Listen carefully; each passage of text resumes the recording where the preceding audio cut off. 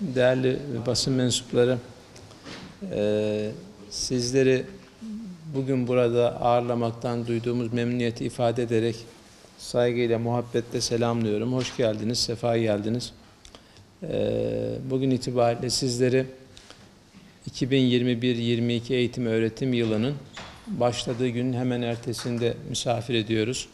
Bu vesileyle 2021-2022 eğitim öğretim yılını üniversitemiz başta olmak üzere tüm yüksek öğretim kurumları için sağlık, afiyet ve muvaffakiyet dolu bir yıl olmasını temenni ettiğimizi ifade etmek istiyorum.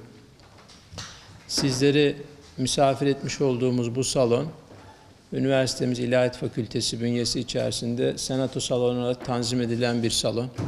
Ee, Bundan sonraki toplantılarımızda inşallah yine sizlerle beraber burada yapmak arzu ediyoruz.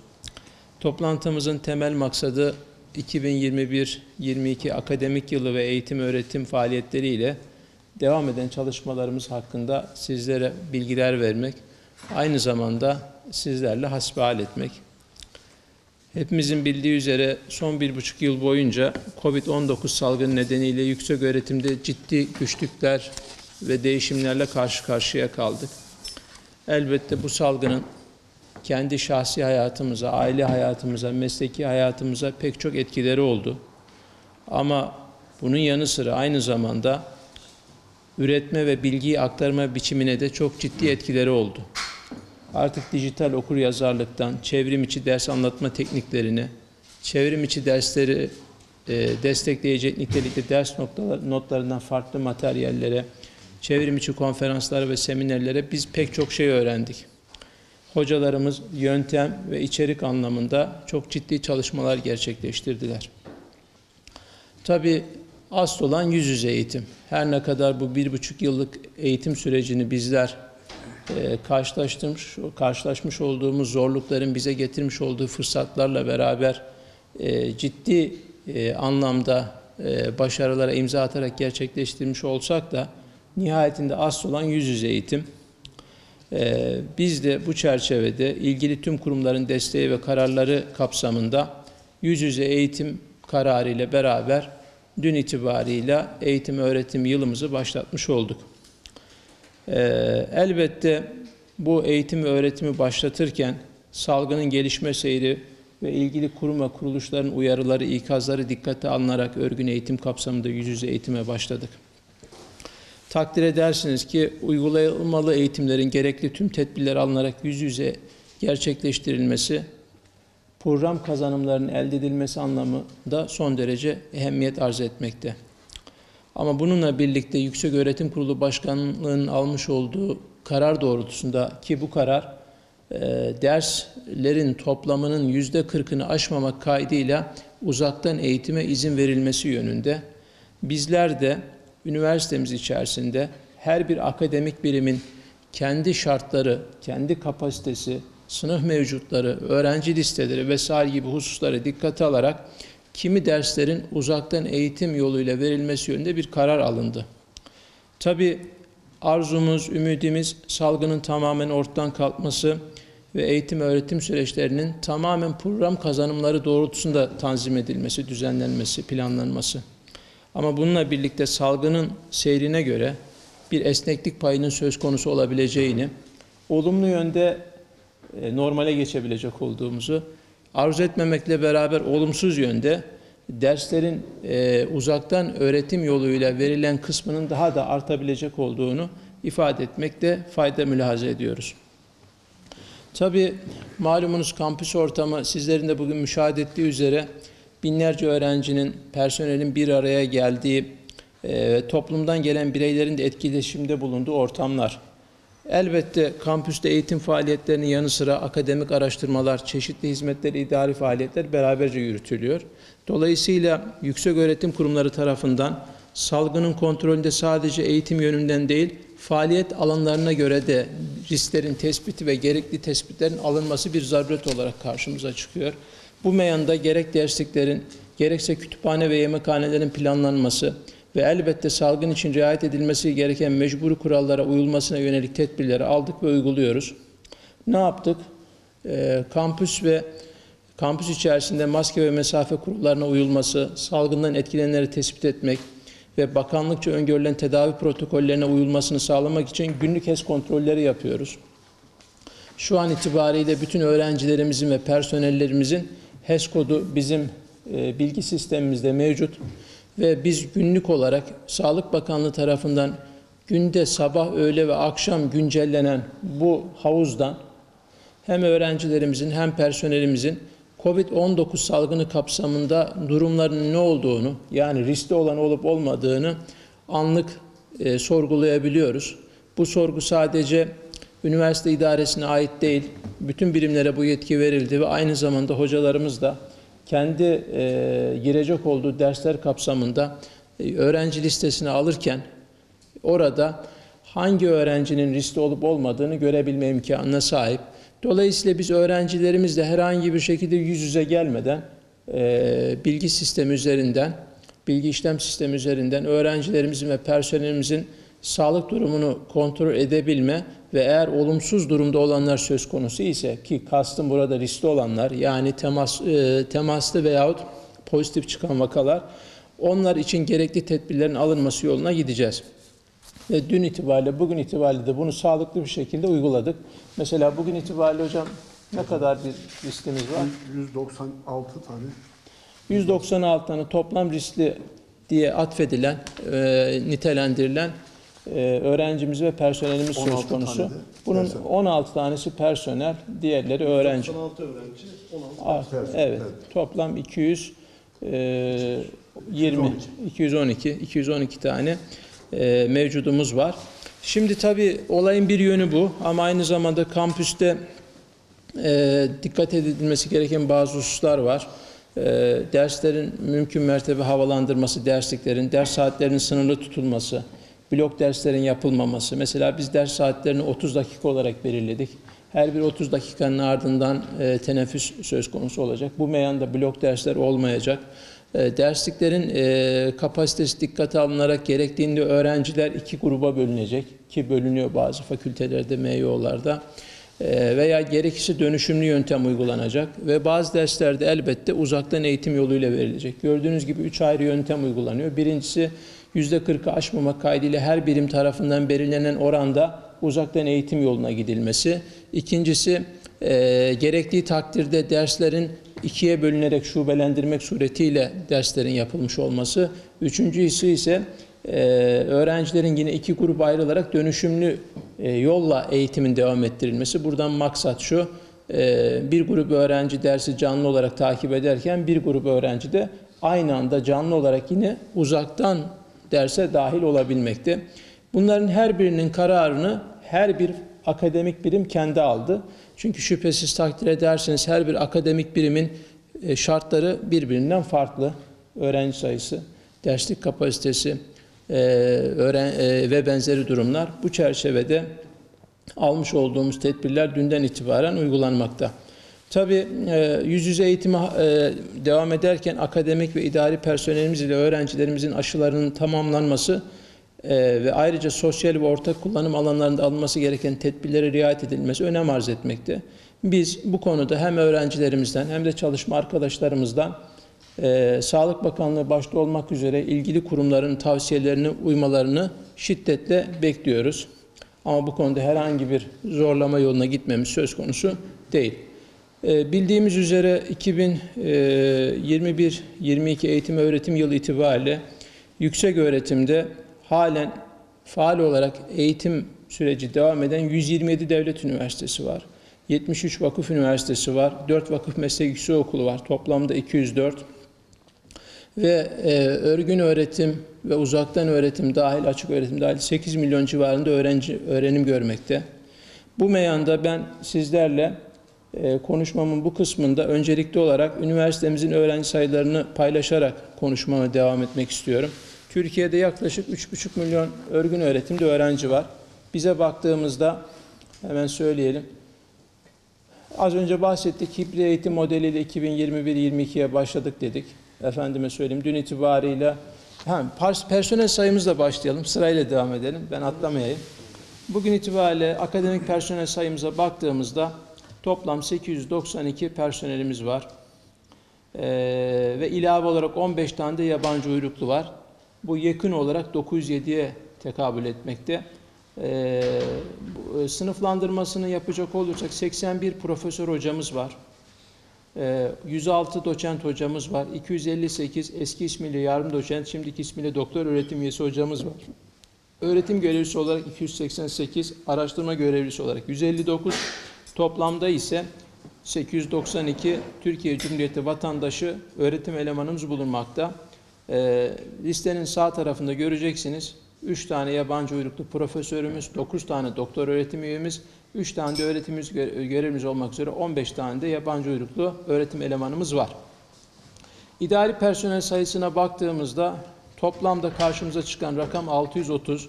Bunun dağılımı ise 58'i idareci, 236'sı diğer hizmetler, 70'i teknik hizmetler, işçiler ki bunun içerisinde güvenlik, temizlik ve büro personeli var. 266 toplamda da 630 rakamı karşımıza çıkmakta. Gördüğümüz üzere gerek akademik personel gerekse idari personel sayısı itibariyle gün bugün itibariyle 1537 sayısına ulaşmış vaziyetteyiz. Hiç şüphesiz, hiç şüphesiz ihtiyaç duyulan alanlarda yeni öğretim elemanları alınmaya devam edilecek ve ediliyor. Elbette üniversitemizin bilhassa güvenlik, temizlik ve büro hizmetleri anlamında ciddi eleman ihtiyacı olduğunu da söylememiz gerekir. Zira birazdan da görecek olduğumuz üzere üniversitemiz sürekli olarak büyüyen, genişleyen ve bu kapsamda da söz konusu iş kollarında e, nitelikli personel ihtiyacı artan bir üniversite olarak karşımıza çıkmakta. E, öğrenci sayılarına baktığımızda lisansüstü öğrenciler, ön lisans öğrencileri, lisans öğrencileri şeklinde bir sıralama yapacak olursak e, bir defa bir oranlama yapalım. Bugün itibariyle üniversitemizdeki toplam öğrencilerin %58.82'si lisans öğrencisi yani 4 yıllık fakültelerde eğitim gören öğrenciler. Ön lisans %31.68, lisansüstü ise 9.50 oranına tekabül etmekte. E, lisansüstü programdaki öğrencilerimiz, lisansüstü programı olarak üniversitemizde 3 tane ayrı bilim var. So- sosyal bilimler, sağlık bilimleri ve fen bilimleri enstitüsü olmak üzere. E, bugün itibariyle söz konusu programlara baktığımızda e, yüksek lisans, tesis yüksek lisans ve doktora dahil olmak üzere şöyle bir sıralama yapacak olursak tezli yüksek lisansta her üç enstitüde 826, pardon 1751, tesis yüksek lisansta 471, doktorada ise 344 öğrencimiz var. Bunun toplamı lisansüstü eğitimde 2566 tane öğrencimiz olduğu anlamına geliyor. Ee, O listede dikkat ederseniz kadın ve erkek şeklinde cinsiyet dağılımına da yer verilmiş. Ama burada dikkatimizi çeken 2566 öğrencimiz olduğu. Dağılımda tabii kendi içerisinde fen bilimleri 823, sosyal bilimler 1687, sağlık bilimleri 56 şeklinde karşımıza çıkmakta. Ön lisans programları malumunuz üniversitemizin 14 tane fakültesi var, 2 tane yüksek okulu var. 13 tane de meslek yüksek okulu var ve bu meslek yüksek okulu bir tanesi merkezde olmak üzere farklı ilçelere dağılmış vaziyette. E, malum işte Abana'dan Araç'a, Bozkurt'tan Cide'ye, Çatalzeytin, Daday, Devrekhane şeklinde giden bir listemiz var. Hemen söyleyelim. Baktığımızda toplamda e, bu ilçeler e, ve merkez MEO dahil olmak üzere 8554 kayıtlı öğrencimiz var. MEO'larda toplam 8554 kayıtlı öğrenci var. Bu öğrencilerden 2732'si Merse- merkezde yani Kastamonu Meslek Yüksekokulu'nda, diğerleri ise ilçelere dağılmış vaziyette. Takriben e, 5000 2732 6000 civarında öğrencimiz e, ilçelere dağılmış vaziyette.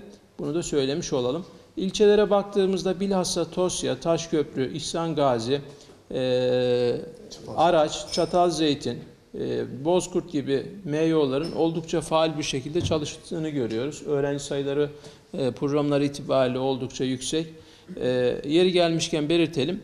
Biz MEO'larda öğrenci doluluk oranlarını ve Türkiye'deki seyri de dikkate alarak 2 yıllık nitelikli ara eleman ihtiyacı bağlamında o seyri de dikkate alarak yer yer değişimlere gidiyoruz.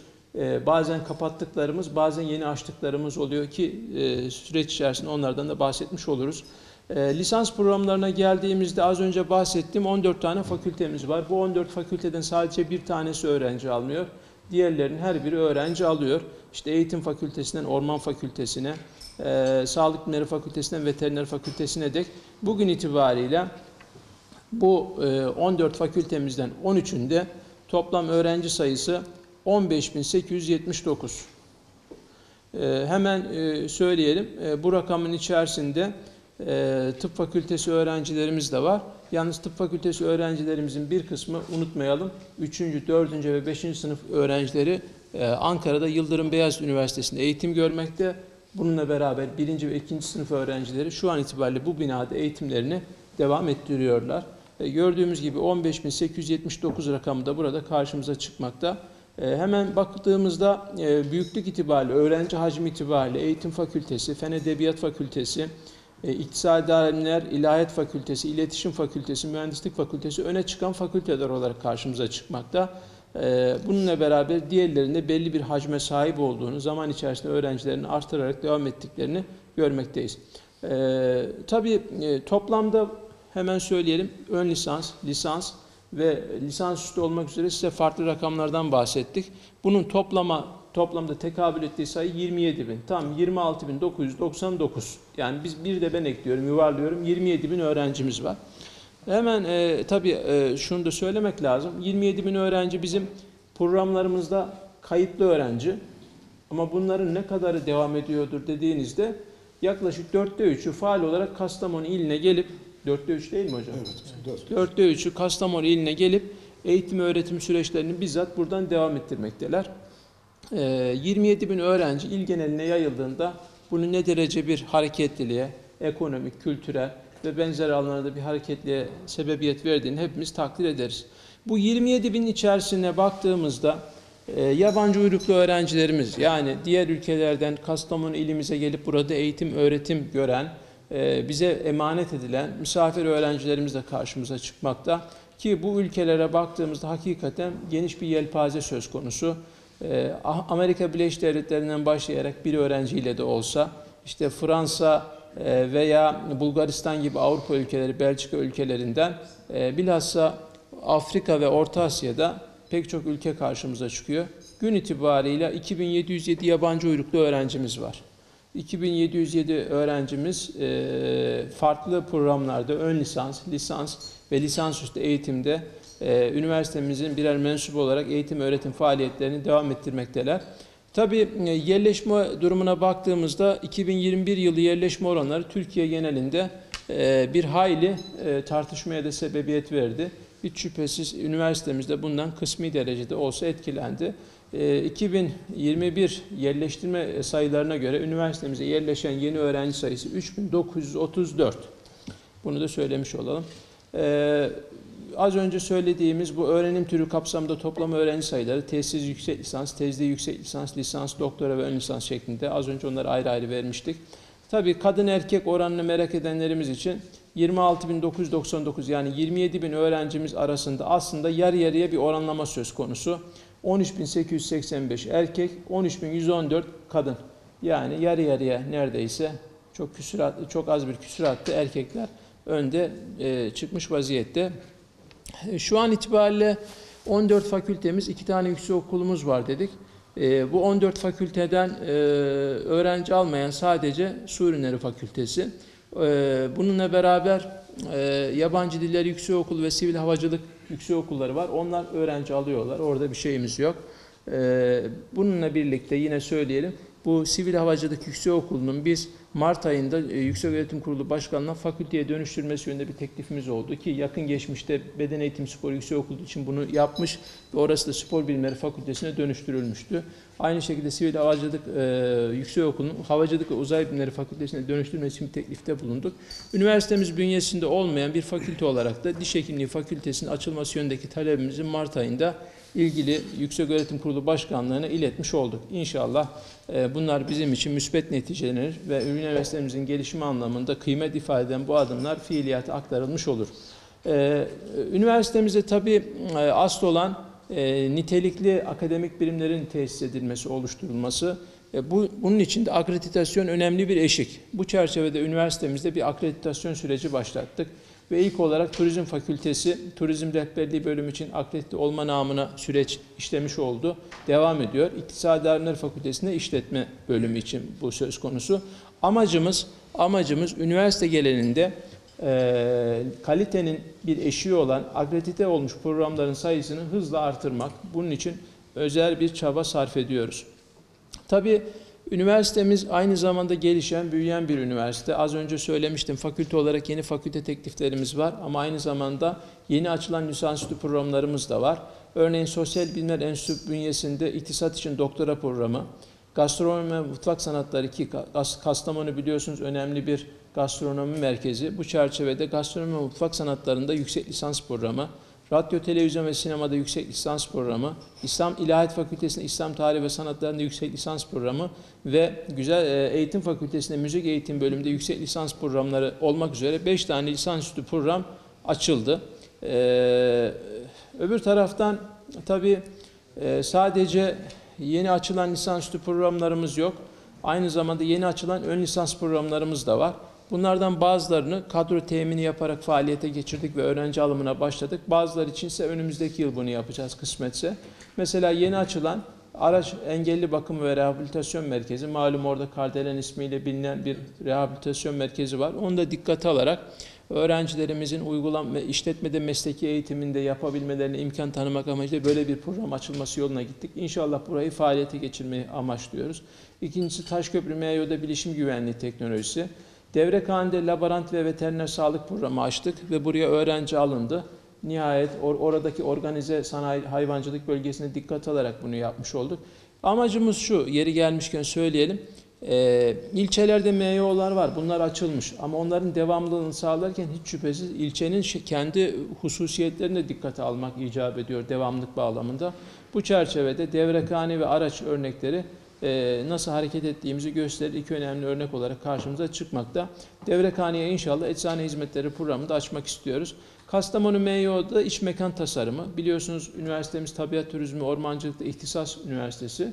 Bu çerçevede iç mekan tasarımında ihtisaslaşma kapsamında faaliyete geçirmeyi arzu ediyoruz. Bunun için zaten Orman Fakültesi'nde ciddi bir akademik birikim müktesebat söz konusu. Onu orada faal hale getirmek istiyoruz.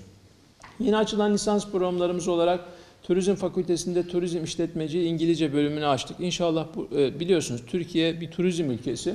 Ama turizmde de nitelikli personel namına yabancı dil bilgisine sahip personele ihtiyaç var. Genelde de bu turizm işletmeciliği hep e, Türkçe programlar olarak tanzim edilmiş ama biz bunu İngilizce olarak açıp e, sektörün ihtiyaç duyduğu dil bilen nitelikli personel yetiştirmeyi sağlamayı hedefliyoruz. İnşallah muvaffak olacağız. E, aynı şekilde Sağlık Bilimleri Fakültesi'nde acil yardım ve afet yönetimi diye bir lisans programı açmak istiyoruz. E, açıldı resmen ama fiilen açılması için gayret sarf ediyoruz. Yeni açılan araştırma merkezlerimiz var. E, bu kapsamda önümüze çıkan önemli iki başlık. Tabiat Turizmi Uygulama Araştırma Merkezi, Orman Ürünleri Uygulama Araştırma Merkezi. Az önce söyledik, bölgesel kalkınmada misyon odaklı farklılaşma projesi kapsamında biz tabiat turizmi, e, ormancılıkta ihtisaslaşan üniversiteyiz. Haliyle bunun iki ayağı olarak tabiat turizmi, orman ürünlerinde araştırma merkezleri kurarak bu çalışmaları buradan yönetmek istiyoruz. E, Keza CBS ve uzaktan uygulama, algılama uygulama araştırma merkezi açılmış vaziyette. Tabii e, coğrafi bilgi sistemi e, ve uzaktan algılama. Öte yandan tabii üniversitelerin biliyorsunuz e, yapmış olduğu çalışmalar neticesinde e, gerek ülke içinde gerekse ülke dışında bir takım sıralamalara tabi tutulduğunu hepimiz biliyoruz. E, ayrıntıya fazla girmeden, sizi yormadan devam ediyorum. Üniversitemiz bugün itibariyle e, geçmişte e, yer almadığı pek çok e, sıralamada artık yer alır vaziyette. E, çeşitli başvurularımız oldu. QS'den D'ya. E, bunların her birinde inşallah üniversitemizin ismini sıralamalarda göreceksiniz. Amacımız üniversitemizi yapmış olduğu bilimsel çalışmalarla, gerçekleştirmiş olduğu toplumsal sorumluluk projeleriyle ve diğer çalışmalarıyla gerek ülke içinde gerekse ülke dışında e, arzu ettiğimiz e, bir seviyeye getirebilmek. İnşallah bunda sizlerin de desteğiyle muvaffak olmak temel amacımız. Elbette üniversitemizin e, diğer paydaşlarıyla beraber e, ciddi bir etki iletişimi ve iletişimi söz konusu. Bu çerçevede yapmış olduğumuz pek çok işbirlikleri söz konusu. Detaylara fazla girmeden bunları hızlıca geçiyorum. Ee, Burada önemli olan bölgesel kalkınma için ihtisaslaşma alanında verdiğimiz hizmetler. Malum üniversite bilgiyi üreten ama aynı zamanda bilgiyi paydaşlarıyla birlikte paylaşan kurumlardır. Bu çerçevede üniversitemiz akademik personelin üretmiş olduğu bilgiyi ihtiyaç duyulan sektörlere aktarabilmesi, daha doğrusu üniversite sanayi işbirliğinin sağlanabilmesi bağlamında yapmış olduğumuz çeşitli çalışmalar söz konusu. E, Hiç şüphesiz bu çerçevede yapmış olduğumuz çalışmalara baktığımızda e, farklı kurumlar veya kuruluşlarla karşı karşıya geliyoruz. E, Örneğin Türk Şeker'e vermiş olduğumuz bir hizmet, keza aynı zamanda SEKA'ya, Köykop'a vermiş olduğumuz çeşitli hizmetler söz konusu. Zaman içerisinde hocalarımızın bu tür faaliyetlerinin daha da görünür hale gelecek olduğunu biz yakinen görüyoruz, müşahede ediyoruz. Tabii burada önemli bir husus ihtisaslaşmadaki projeler. Ben bu kapsamda Ömer Hocama sözü vermek isterim. Çünkü burası bizim için önemli. Cumhurbaşkanlığı biliyorsunuz e, Cumhurbaşkanı teşvikleriyle YÖK tarafından 15 üniversite ihtisaslaşma e, ihtisaslaşan üniversite olarak seçildi. Biz ikinci beşte yer alan üniversiteyiz ve Cumhurbaşkanlığı Strateji Başkanlığı tarafından bunlara bir bütçe tahsis ediliyor. Tam da ben burada Ömer Hocama sözü vermek isterim. Hocam teşekkür ediyorum. Ee, Sayın hocamızın da bahsettiği gibi üniversitemiz ormancılık Hocam alanında ihtisas Yok. üniversitesi ve bu bölgedeki en öne çıkan ormancılık sektörü ve turizm Evet, sektörünün ekonomiye kazandırılması noktasında bölgesel kalkınma adına e, bizlerin takım projeler yürüttüğünü görüyoruz. 2021 yılı içerisinde 10 milyon e, lira destek verildi. Bunlar ağırlıklı olarak e, ormancılık ve orman endüstri alanında ve diğerleri de tabiat turizmi alanında. Orman endüstrisi alanında şu anda e, mobilya, eğitim, tasarım, ürün geliştirme projemiz e, faaliyete geçmek üzere ve bu bağlamda Teknokentimizin yanında hemen e, bu çalışmaları yürütecek olduğumuz yaklaşık 1100 metrekarelik bir tesisimiz mevcut. E, Burada hem e, iki ihracat yapan büyük fabrikanın yanında gerek e, Kastamonu merkezde gerekse ilçelerde faaliyet gösteren bu noktadaki sektördeki çalışanlara nitelikli iş gücü eğitimlerini vermek istiyoruz.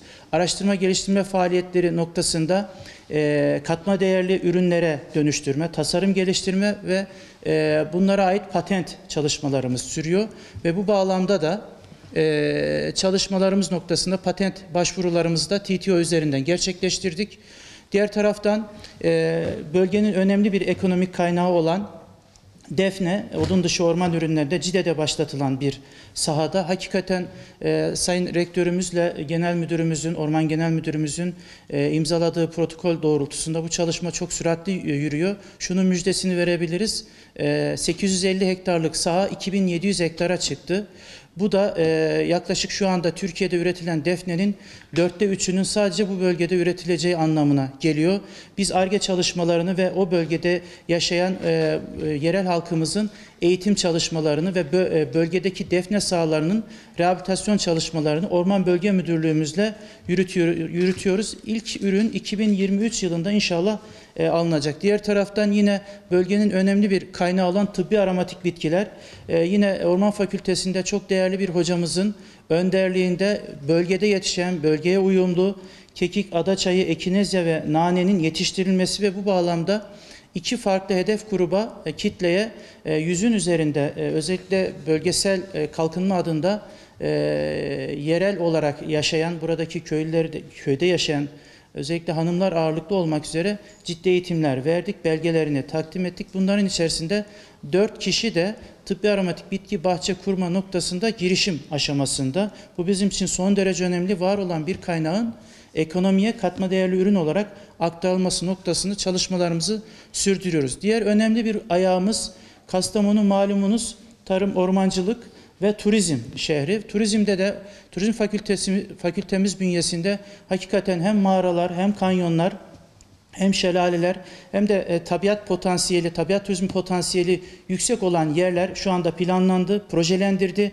E, rota çalışmaları sürdürülüyor ve e, inşallah Turizm Bakanlığı bünyesinde Batı Karadeniz'de olmayan yayla turizmini Sayın Turizm Fakültesi Dekanımızın da e, rehberliğinde e, Kastamonu'ya kazandırmak istiyoruz.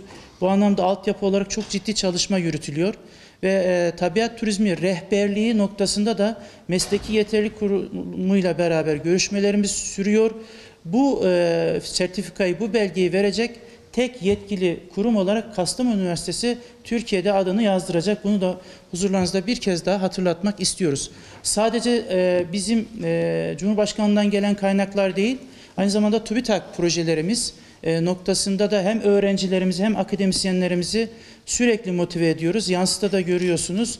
E, öğrencilerimizin ve e, hocalarımızın danışmanlığında yürütülen TÜBİTAK projelerimiz var. Bunlardan hem orman endüstrisi noktasında hem e, odun dışı orman ürünleri noktasında mesela kestane propolisi noktasında yürütülen bir çalışma var. Diğer tarafta İstiklal Yolu Dijital Kampüs projemiz var. E, yine mobilya yapımında kullanılan masif ağaçların e, malzemeye uygulanması noktasında vidalama teknikleri var. Ve sadece sınırlı bir isim olarak e, burada ifade edeyim.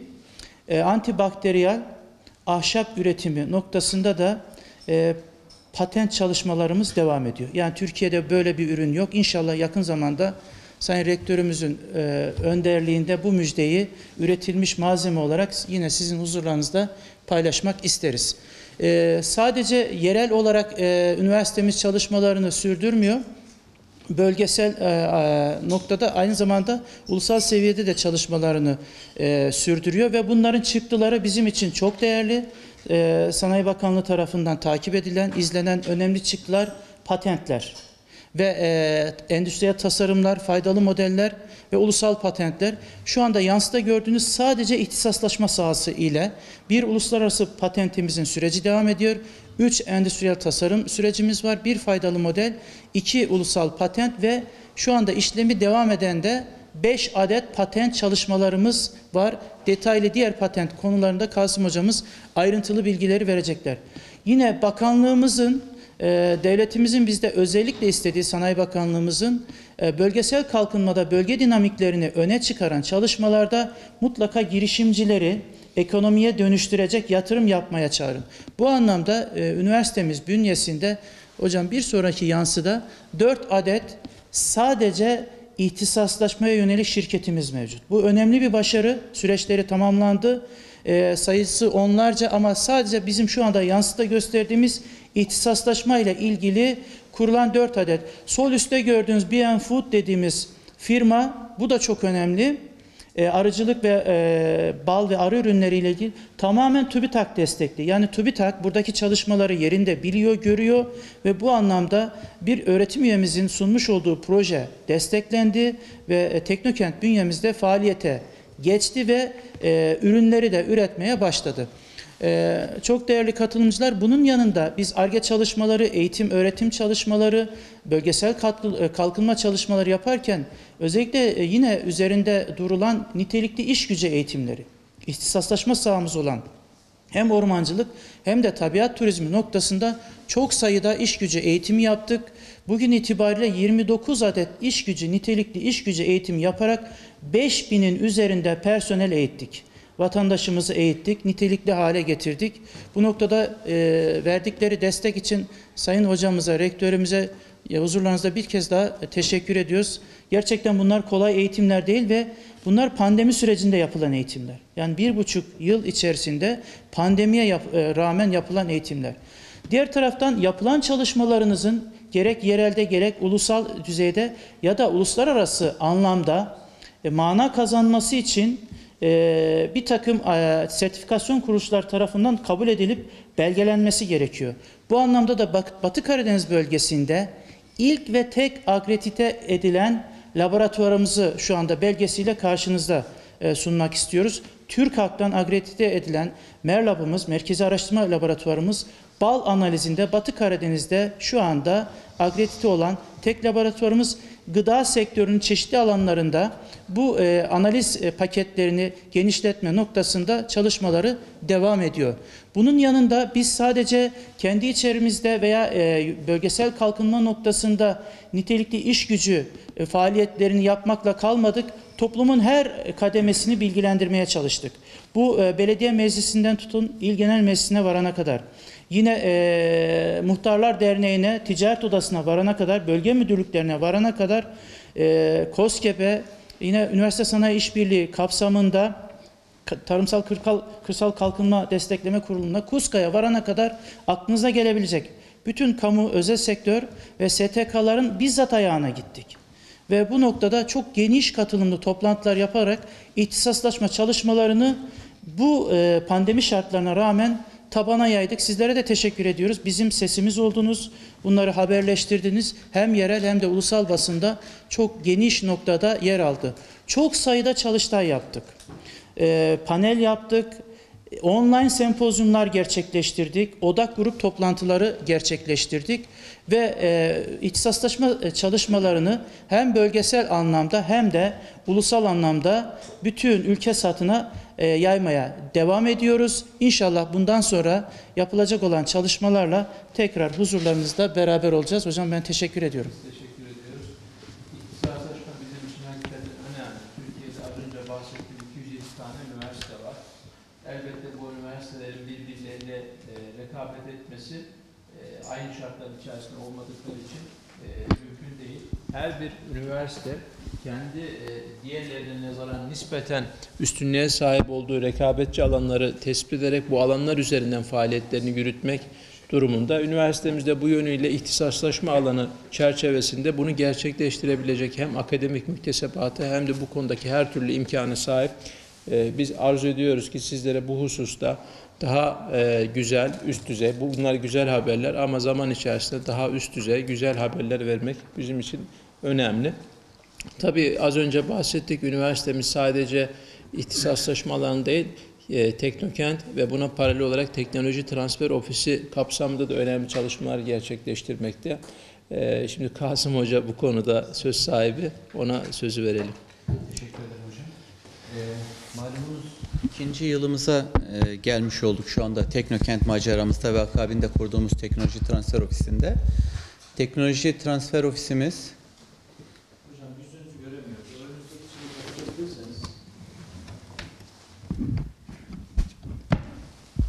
Şimdi tamam peki. Malumunuz Teknoloji Transfer Ofisi e, Türkiye'de YÖK'ün e, YÖK şirketi anlamında, YÖK TTO'su anlamında kurulan ilk şirketlerden. Yani Kastamonu bu anlamda çok önde. Teknokent'in kuruluş macerasını geçen seneki e, hocamın birinci yılki basın toplantısında paylaşmıştık. Ama bu süreç, süreç içerisinde çok ciddi gelişmeler meydana geldi. Malumunuz Teknokent ve üniversitenin dinamik şirketi olan Teknoloji Transfer Ofisi. Bu iki şirketi şöyle açıklamak ve ayırmak isteriz. Teknokent Kastamonu'nun ortak paydası. Hem üniversitemiz hem üniversiteyle beraber diğer paydaşlarından haberiniz bilginiz var. Valiliğimiz, belediyemiz, ticaret odamız, borsamız, e, diğer e, köy kooperatifleri ve özel sektör firmalarının katılımıyla e, kurulmuş bir teknoloji geliştirme bölgesi yönetici şirketi. Ama bununla beraber doğrudan akademisyenlerin sahaya çıktığı, bilgilerini aktardıkları, e, sahaya danışmanlık ve ARGE hizmetlerini verdikleri firması da Teknoloji Transfer Ofisi. Biz bu yapı içerisinde hem akademisyenlerimizi hem öğrencilerimizi sahaya e, doğrusunu isterseniz odaklamak, yönlendirmek istiyoruz. Çünkü sahanın e, gerçek sektörün, reel sektörün çok ciddi ihtiyacı var. Katma değer üretmesi gerekiyor, dışarıyla rekabet etmesi gerekiyor, Kastamonu'nun potansiyelini dışarıya çıkarması gerekiyor. Az önce hocam sunumda size bahsetti. Bir ekleyerek 27 bin öğrenciden bahsetti. 27 bin öğrenci. Bunun üzerine 1500 tane de akademisyen ve e, idari personele katarsak biz 26 bin şey 28 bin 500 kişiye ulaşıyoruz. 28 bin 500 çok ciddi bir potansiyel ve çok nitelikli bir potansiyel. Kastamonu'nun entelektüel sermayesi aslında. Bu entelektüel sermayenin sahada kendini göstermesi ve bilgi birikimini aktarması gerekiyor. Teknokent içerisinde biz bir dedik, iki dedik, üç dedik. Şu anda fiilen altı ofis, birazdan sunumda göstereceğiz. Yedincisi teknoloji transfer ofisinin kendisi ve bunun üzerine şu anda 3 ofis daha ilave ediyoruz. 10 tane tamamen profesyonel ve tam zamanlı öğretim görevlisi düzeyindeki arkadaşlarımızla yürüyen ofis hizmet veriyor. Nedir bu ofisler? Bunlar ne iş yapıyorlar? Öncelikle teknoloji transfer ofisi kendisi dediğimiz gibi bağımsız bir şirket olarak akademisyenlerimizin sahaya çıktıkları, yaptıkları işleri gösteriyor. Biraz önce hocam bahsetti. Mesela Türk Şeker'e şu anda bir kısmı e, gizlilik kaydıyla nitelikli bir proje yürütülüyor. Türkiye'de bu projeye destek veren Te- sadece iki üniversite var. O iki üniversiteden bir tanesi Kastamonu Üniversitesi. Benzer şekilde e, Kastamonu'nun dışında Batı Karadeniz öncelikli ama diğer bölgelere de e, belli konularda uzmanlaşmış arkadaşlarımız teknoloji transfer ofisi üzerinden danışmanlık, ARGE hizmetleri ve destek e, çalışmalarını yapıyorlar. Bunun dışında ne projelerimiz ve daha doğrusu ofislerimiz var? E, Teknokent Akademimiz var. Teknokent Akademimiz demin gerek ihtisas sahasında gerek diğer girişimcilik sahasında verilen bütün eğitimlerin organizasyonunu yapıyor. Ama eğitim deyip geçmeyin. Burada bilginin Çin'den Amerika'ya, dünyanın neresinde olursa olsun ulaşılması gereken bir değer olduğunun farkındayız. Ona hem öğrencilerimiz hem akademisyenlerimizi hem de Kastamonu'da ihtiyaç duyan sanayicileri ulaştırmak istiyoruz. O bilgiyi buraya getirme çalışması içerisinde akademi ve bunu yaparken e, sertifika ile yapıyor. Yani eğitimler sertifikalı olarak devam ediyor. İkinci bir ofis ki olmazsa olmazımız olan proje destek ofisi.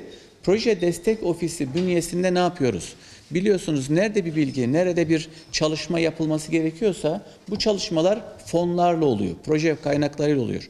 Proje kaynaklarına ulaşmada, onlara doğru dokümanı iletmede, oradan alınan projelerin doğru ilerletilmesi ya da ortak paydaşların ve pay- kişilerin ulaşılmasında bu ofisimiz e, çalışma yapıyor. Birazdan sunumlarımız içerisinde e, bunların birkaç başvurusunu görüntü olarak göreceksiniz.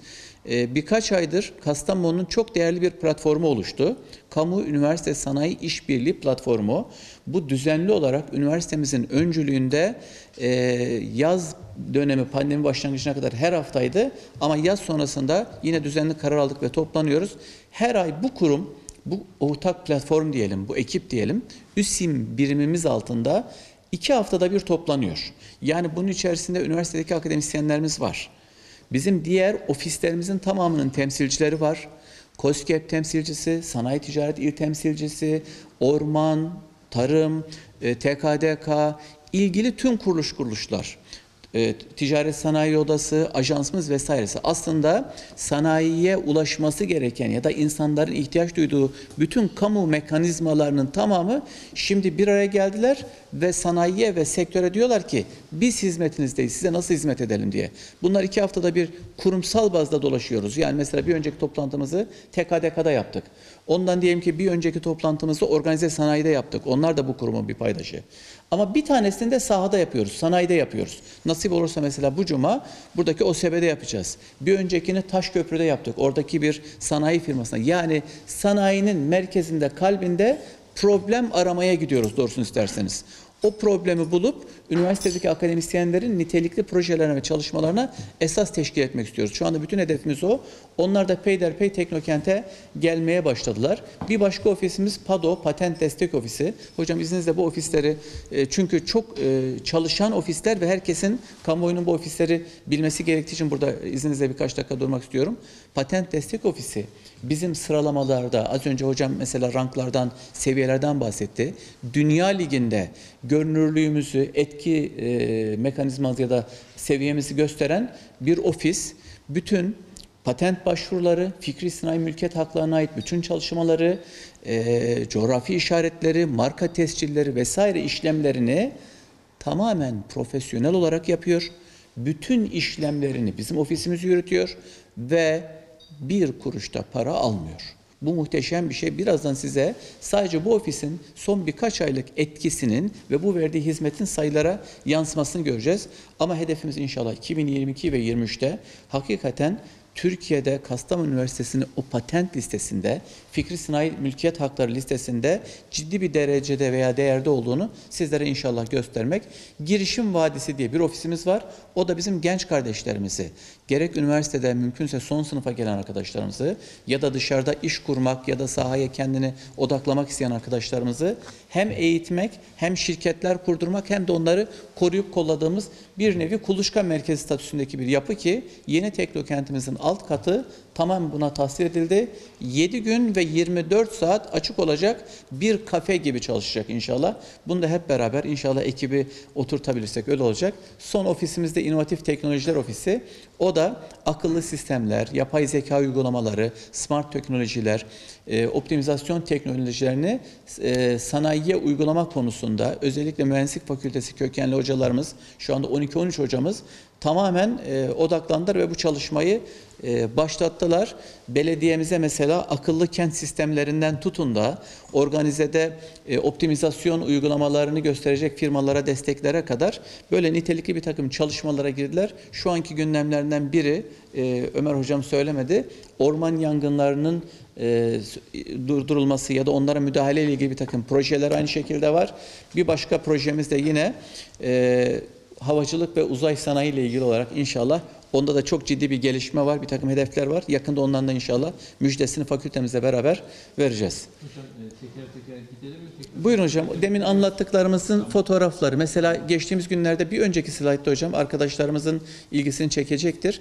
İki tane çok nitelikli e, program gerçekleştik. Pandemi sürecinde olmamıza rağmen e, Kuluçka merkezimiz için bir ön başvuru aldık.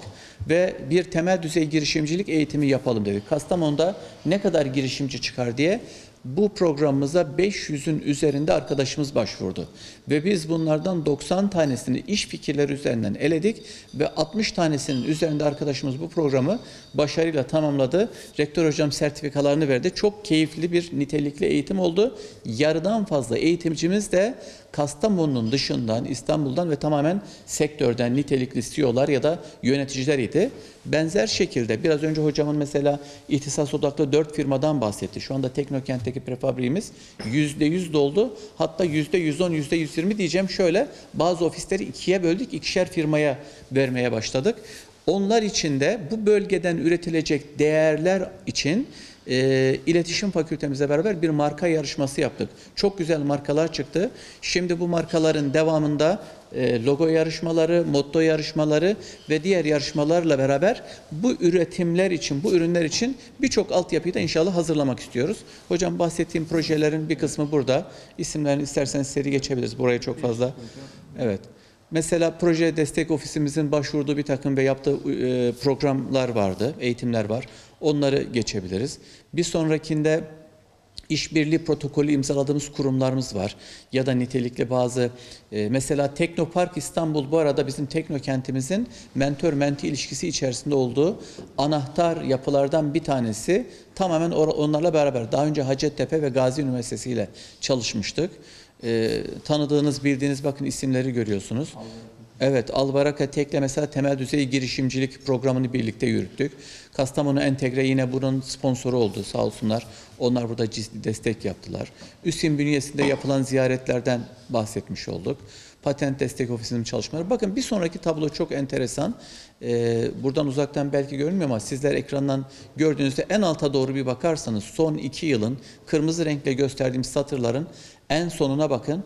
Bu şehir hakikaten bundan çok daha fazlasını hak ediyor. Çünkü böyle bir potansiyelimiz var. Akademisyenlerimiz bunları yapmaya yetenekli. Bu ikincisi daha bu yılın yarıya kadar olan, yaz dönemine kadar olan sayılar 22 patent başvurusuna ulaştık. Daha önceki sayılar yok. Bir tane, iki tane, üç tane görüyorsunuz. İnşallah gelecek sene hedefimiz buradaki tablonun tamamının toplamı kadar başvuru yapmak inşallah. Ve bunların ciddi bir bölümü ihtisas odaklı. Yani ormancılık, odun dışı orman, orman ürünleri ve diğer sahalardaki patentler olacak inşallah. Bunlar da fikri İslami mülkiyet haklarının dağılımını gösteren tablolarımız. Hocam web sayfalarımızda bunların bir kısmını yer ediniyoruz. Ha, üç ofisimizden bahsetmiştik bu arada demin saymadığımız. Bunlardan biri kariyer ofisi, Cumhurbaşkanlığı İnsan Kaynakları Ofisi üzerinden e, ilerliyor. Belki orada siz bir şeyler söylemek istersiniz hocam. Buyurun. Şimdi malumunuz e, bu gelişmiş ülkelerde de gözlemlediğimiz bir gerçek var. Üniversiteler sadece araş, araştırma kapasitelerin gücü ve et, üretkenlikleriyle değil, en az onun kadar e, öğrencilere ülke içi, ülke dışı iş gücü piyasasına sağladığı avantajlarla e, daha saygın hale geliyor. E, üniversiteler yetiştirdikleri öğrencilerin bu bağlamda mesleki gelecek başarılarını, refahını takip etmeli ve hiç şüphesiz onlara, e, mezunlarına destek sağlama mecburiyetinde. Tabii bu de- destek öğrencileri teşvik eden ve öğrenme isteklerini güçlü kılan önemli bir husus. Bu kapsamda biz Cumhurbaşkanlığı Kariyer Ofisi'nin e, belirlediği projeleri hayata geçirme durumundayız. E, Önemli bir meselemiz bu. Mezun takip sistemini daha etkili bir şekilde bunun için kullanmaya amaçlıyoruz. E, Paydaş kurum ve kuruluşlarla tam bir uyum ve eşgüdüm içerisinde üniversitelerimizin ülkemiz istihdam, istihdam kapasitesine nasıl daha nitelikli bir katkı sağlayacağı sorusuna odaklanarak mezun gençlerimizin isti- istihdamlarına imkan sağlamak istiyoruz. Burada önemli bir husus var. E, Bunu da gerçekleştirebilmek için bu yıldan itibaren bazı bölümlerimizde işletmede mesleki eğitim programı kapsamında 7 artı 1 uygulamasına başlıyoruz. 7 artı 1'den kastımız e, yani 7 artı 1 eğitim modeliyle öğrenciler birinci, ikinci ve üçüncü sınıflarda teorik ve uygulamalı dersleri okul ortamında alacak. Ama dördüncü sınıfın 8. döneminde yani son dönemlerinde iş yeri eğitimi dersini iş yeri eğitim yönergesine bağlı olarak akademik takvime uygun bir şekilde dönemin tümünü kapsayacak şekilde ve tam zamanlı olarak işletmede alacaklar. Ee, mesela mühendislik fakültesindeki öğrencilerimiz 8. dönemi üniversitemizin onaylamış olduğu iş, iş yerlerinde e, 14 haftayı kapsayacak bir şekilde orada geçirecekler. Eğitim süreçlerini orada tamamlayacaklar. Amacımız burada 7 artı 1 eğitim modeliyle beraber öğrencinin 7 dönem boyunca almış olduğu teorik eğitimi 8. dönemde uygulamaya aktarabilmesine imkan sağlamak. E, Şöyle bir e, veriyle karşılaştık yaptığımız incelemede. E, 7 artı 1 modeliyle eğitim alan öğrencilerin çoğunun artı 1 sürecini geçirmiş oldukları iş yerlerinde mezuniyetlerini takiben istihdam edildikleri gerçeğiyle karşılaştık. Bu da e, benimsemiş, benimsemiş olduğumuz yöntemin ne kadar doğru olduğunu ortaya koymakta. Tabi burada gördüğünüz üzere İslam için klasik eğitim anlayışımızın dışında hem sırada hem sahada eğitim öğretimi uygulamaya sokmak öncelikli hedef olarak karşımıza çıkıyor. Tabii biz bu tüm bu süreci yürütürken hem Yükseköğretim Kurulu Başkanlığı ile hem de Cumhurbaşkanlığı bünyesinde kurulan kariyer ofisi ile beraber bu çalışmalarımızı sürdürüyoruz. Tabii eee, şunu söylemek lazım. Üniversite sadece eee, burada gündemi sadece İslam ile sınırlı değil. Yani bilim bilim ve teknoloji ülke refahının kaynağı ama bu kaynağı üreten kurumların başında bugün üniversiteler geliyor. Tabii günümüzde artık bu bilimsel araştırma ve teknolojiler bir yarışa dönmüş vaziyette. Eee, bu çerçevede ayakta kalmanın yegane yolu daha çok üretmek, daha çok çalışmak. Burada bize düşen önemli vazife ise üniversite mensuplarımızın yani öğretim elemanlarımızın huzurlu ve mutlu çalışacakları ve üretmeye teşvik edilecekleri bir muhiti, bir iklimi inşa etmek ve bu, bunu geliştirmek. Bunu başarmak ise yani bizim yönetimin, hepimizin e, bir vazifesi. E, bunun için de akademik performansı esas alan bir anlayışı benimsiyoruz ve bunu uygulamak arzu ediyoruz. E, bu çerçevede öğretim elemanların bütün bilimsel üretimini yakından izleyerek üniversite içi yönetim politikaları oluşturuyoruz. Atama, yükseltme, proje destekleme ve teşvik, teşvik mekanizmalarını hocalarımızın bu üre- e, bilimsel üretkenliklerini dikkate alarak yapmayı amaçlıyoruz. E, Bunu da özellikle belirtmiş olalım. E, Devam ediyorum e, bu yapmış olduğum, hazırlamış olduğumuz slayttan. E, Hocam Evet. geçtiğimiz slaytlar hakikaten arkadaşlarımız da takip etmişler belki oldukça keyifli. Evet. Mühendislik Mimarlık Fakültemiz öncelikli olmak üzere arkadaşlarımızın orada hakikaten e, becerikli, nitelikli arkadaşlarımız var. 6 ekip kuruldu ve bizim e, Atabey Gazi e, aracımız e, hem diğer e, İHA'mız, efendim söyleyeyim diye takımlarımız hepsi Teknofest'e Evet. katıldılar ve güzel başarılarla e, döndüler. Dün de e, TUSAŞ Londra temsilcisi Haluk Bey buradaydı. Belki arkadaşlarımızdan toplantıya katılanlar olmuştu. Ondan sonra onunla da e, güzel bir toplantı ve görüşme gerçekleştirdiler. E, söyleyeceğimiz o hani yakın zamandaki sürprizden biri, biri Evet. belki de yakında bu arkadaşlarımızın bir bölümünü TAİ'de ve TUSAŞ'ta göreceğiz inşallah. İnşallah. Amacımız o. Ee, Şimdi gelelim teknokent meselesine. Şimdi malum e, ekranda gözüken e, prefabrik bir yapıyla başlayan bir fiziki görünüm itibariyle başlayan bir süreç söz konusu. Bilare e, geçtiğimiz e, Kasım ayında, Aralık ayında inşaatımıza başlamıştık. Ekranda da o süreci görüyorsunuz. Bugün itibariyle şu normal bu üç boyutlu hali bitmiş hali. e, Şu an itibariyle binamız kabası bitmiş vaziyette neredeyse. E. Fotoğrafına gelelim de öyle devam edelim hocam. Hocam, zaman. en sonda Öyle mi? gerçeklik bunun içerisinde. Evet şurası. Bakın e, bu fotoğrafta görüyoruz önceki hali, e, başlangıç hali, devamı ve şu anki mevcut hali. Binamız şu anda bu durumda. E, İnşallah bu malum tamamen e, Sanayi ve Teknoloji Bakanlığı'nın Teknokent e, destek kapsamında yürütülen bir proje. 19 milyon 700 bin lira hibe olarak Sanayi ve Teknoloji Bakanımız Sayın Mustafa Varank'a da burada teşekkür ediyoruz. Bilgilerinden ve alakalarından mütevellit. Onların destekleriyle gerçekleştirilen bir proje ve gördüğünüz gibi bir hayli ilerlemiş vaziyette. Hocam ne zaman bitiyor? Yıl sonuna kadar inşallah bitecek. Bu arada ilave bir takım düzenlemeler de yapıldı. O dediğimiz rakam KDV dahil 25 milyonlara yaklaştı hocam. Yani tamam, biz gibi olarak Yıl sonu hizmete girecek mi hocam? Yıl sonundan önce inşallah hedefimiz. Evet.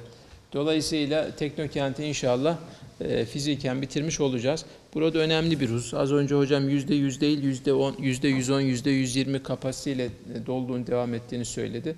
Malum o prefabrik yapıya e, firmalarımız başvurularını yapmışlardı. Biz de onları belirli aşamalardan geçerek değerlendirme süreçlerinin ardından kabul ettik. Bugün itibariyle oranın doluluğu zaten çoktan sağlanmıştı. İlave üzerine e, başvurular var. Hatta başvuruların önemli bir kısmı Kastamonu dışından geliyor. Hocam isterseniz burada siz birkaç bilgi Hocam, verebilirsiniz. Mesela burada şu anda 19 tane firmamızın logosu var. E, Bir sonraki slayta eğer gelirseniz burada firmaların bir de alanları çok enteresan. Kastamonu'ya şu anda gelen ve dışarıdan gelen firmalarımız, İstanbul kökenli yazılım firmaları, bunlar malumunuz joker firmalar, her sektöre ciddi destek veriyorlar. E-ticaretten optimizasyona kadar yüzde 41 küsürü yazılım firması. Yeni başvuranlar da öyle. Şu anda da şeyi devam eden, e, Başvuru portalın üzerinde başvurusu ve değerlendirmesi devam eden, bu arada büyük çaplı firmalar var. Yakında böyle farklı etiketli isimleri de görmek mümkün. Onları inşallah yeni binada e, yer vereceğiz. İnşallah. Burada da arkadaşlarımızın kendilerini görecekleri sayfalar herhalde yani. Evet. Evet. Ne, Şimdi- ne kadar biz or- kendimizi orada görsek onlar da Tabii. burada o kadar çok görürüz herhalde. Evet. Şimdi e, az önce gösterdiğimiz Teknokent binasının inşaatı devam ediyor dedik. İnşallah yıl sonu gelmeden bitecek. Şimdi tabii Kastamonu Üniversitesi 15. yılında. Yeni kurulan üniversitenin en büyük e, iki handikapı vardır. Bir fiziki olarak kampüs alanlarını, eğitim öğretim alanını oluşturmak. iki eğitim öğretim e, sürecini yönetecek olan akademik yapıyı oluşturmak. Üniversitemiz bu iki süreçte de e, çalışmalarını tüm hızıyla devam ettiriyor. E, en büyük sıkıntılarımız e, tabii 13 tane meslek yüksek okulumuz var ilçelerde. Her biri bunun birer e, ekonomik anlamda yük. E, çünkü öğrenci ilçelerde de e, öğrenci olmanın e, getirdiği duygularla haklı olarak pek çok imkanı beraberinde istiyor. Yani doğal olarak ben de olsam ben de isteyeceğim. Yani kampüsteki imkanları mikro ölçekli ilçelerde sunmak durumundasınız. Ama bu ancak sizin kabiliyetleriniz, imkanlarınız çerçevesinde olabilecek olan bir şey. Öbür taraftan bizim merkezde de 3 tane kampüsümüz var. Yani bu içinde bulunduğumuz ana kampüsümüz, tıp fakültesi kampüsümüz ve eğitim fakültesi kampüsümüz. Ee, Bunların içerisine baktığımızda evet devam eden projelerimiz var. Başlayacak olan projelerimiz var. Bir de mevcutta bitmiş gözüken ama dışarıdan bakıldığında anlaşılmamakla beraber veya anlaşılan ama içinden baktığınızda bizi çok ciddi anlamda rahatsız eden ve yapılma, ikmal edilmesi gereken hususlar var. Biz üçünde de e, bir hayli çalıştık ve çalışmaya devam ediyoruz. Sırayla gidelim.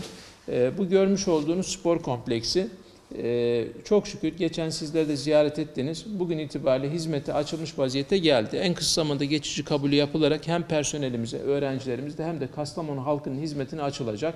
Şu an itibariyle e, burası e, kapalı alanı 10 bin küsür, açık alanı ile beraber toplamda 34 bin metrekareye ulaşan bir alan. İçerisinde sizler de gördüğünüz e, kapalı spor salonu, e, yüzme havuzu, olimpik yüzme havuzu, bowling salonu, fitness salonları, çok amaçlı salonlar, antrenman sahaları, dışarıda ise 8 tane e, açık saha söz konusu. İnşallah üniversitemizin medarı iftiharı olan e, bu e, tesisi birlikte kullanma imkanına sahip oluruz beraberce. Biz burada sizlerle spor yapmak arzu ederiz nasip olursa. Tabii bunun e, yapımı tamamen daha önce bahsettik. E, Cumhurbaşkanlığı Strateji Başkanlığı'ndan alınan ücret, e, yatırım bütçesiyle değil, e, Sporto Teşkilat Başkanlığı'na yapmış olduğumuz protokol kapsamında almış olduğumuz paralarla gerçekleşti. Yaklaşık 18 milyon lira bir hibe alınarak bu gerçekleştirilmiş oldu. Ee, inşallah dediğimiz gibi en kısa zamanda geçici kabulü yapılarak hizmete açılmış olacak. Tabii e, bu 11 Ağustos'ta yaşanan, 11 Ağustos'tu galiba sel felaketi e, bir- Bozkurt'ta bizi olumsuz yönde etkiledi ama merkezde de her zaman olduğu gibi yine Orman Fakültesini su bastı. Orman Fakültesi 2011 yılında faaliyete geçtiğinden bu yana e, sürekli olarak benzer sıkıntıları yaşayan bir fakülteydi. Benim e, ifademi hoş görün, su üzerinde yüzen bir e, fakülte orası. Bir hocamızın ifadesi yere batan sarnıcı. Çok şükür buranın hemen ihalesini yaptık ve çok şükür burayı bitirme aşamasındayız. E, sanırım bir haftalık bir iş kaldı. Orman Fakültesi'nin drenaj ve çevre düzenlemesini bitirerek bu fakülteyi makus talihinden inşallah kurtarmış olacağız. Bahtlı günlere geçmiş olacak. Bu önemli bir şey. Morfoloji binamız e, üniversitemizin 2007 yılından bu yana devam eden kadim inşaatlarından bir tanesi. Artık burayı inşaat olmaktan çıkarıyoruz. Burayı inşallah en yakın zamanda hizmete geçecek. Bu gördüğünüz hali ama bu son hali. Gördüğünüz gibi son halinde artık bu binanın e, çevre düzenlemelerinde sıra. Sol tarafta görecek olduğunuz otopark düzenlemeleri var. Ön tarafta yol ve çevre düzenlemeleri var. 19 bin küsür metrekare kapalı alan bu bina yaklaşık bir aylık bir süre içerisinde inşallah e, faaliyete geçecek.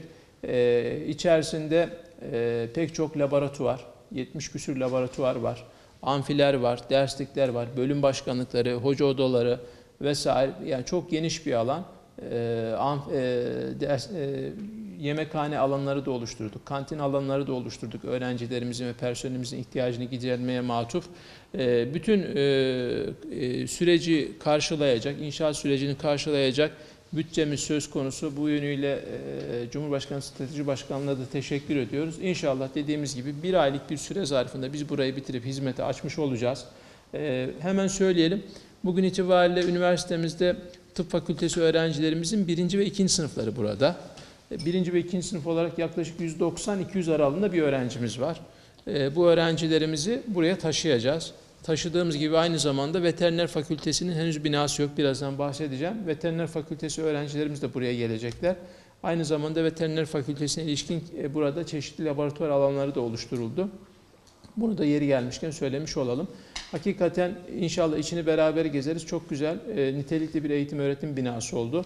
E, burası e, 2007 yılından beri devam eden bir inşaatın ardından nihayet hak etmiş olduğu görüntüyü e, ve e, durumu kazanmış olacak. Merkezi laboratuvar, üniversitemizin az önce bahsettiğimiz temel sorunlarından bir tanesi var olan mevcut binaların gerek projelendirme gerekse imalat aşamasında yaşamış olduğu sıkıntılar kaynaklı problemlerimizdi. Değil mi Kasım Hocam?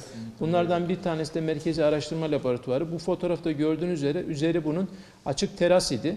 Açık teras Kastamonu e, iklim şartlarını dikkate aldığımızda son derece sıkıntılı. Bu binamız yeni bir bina dikkat ederseniz bu binanın üzeri kapalı teras. E, düşük e, banke düşük çaplı olmak üzere. Biz burayı e, sürekli olarak içeride de çok pahalı cihazlar var. Çok nitelikli laboratuvarlar var.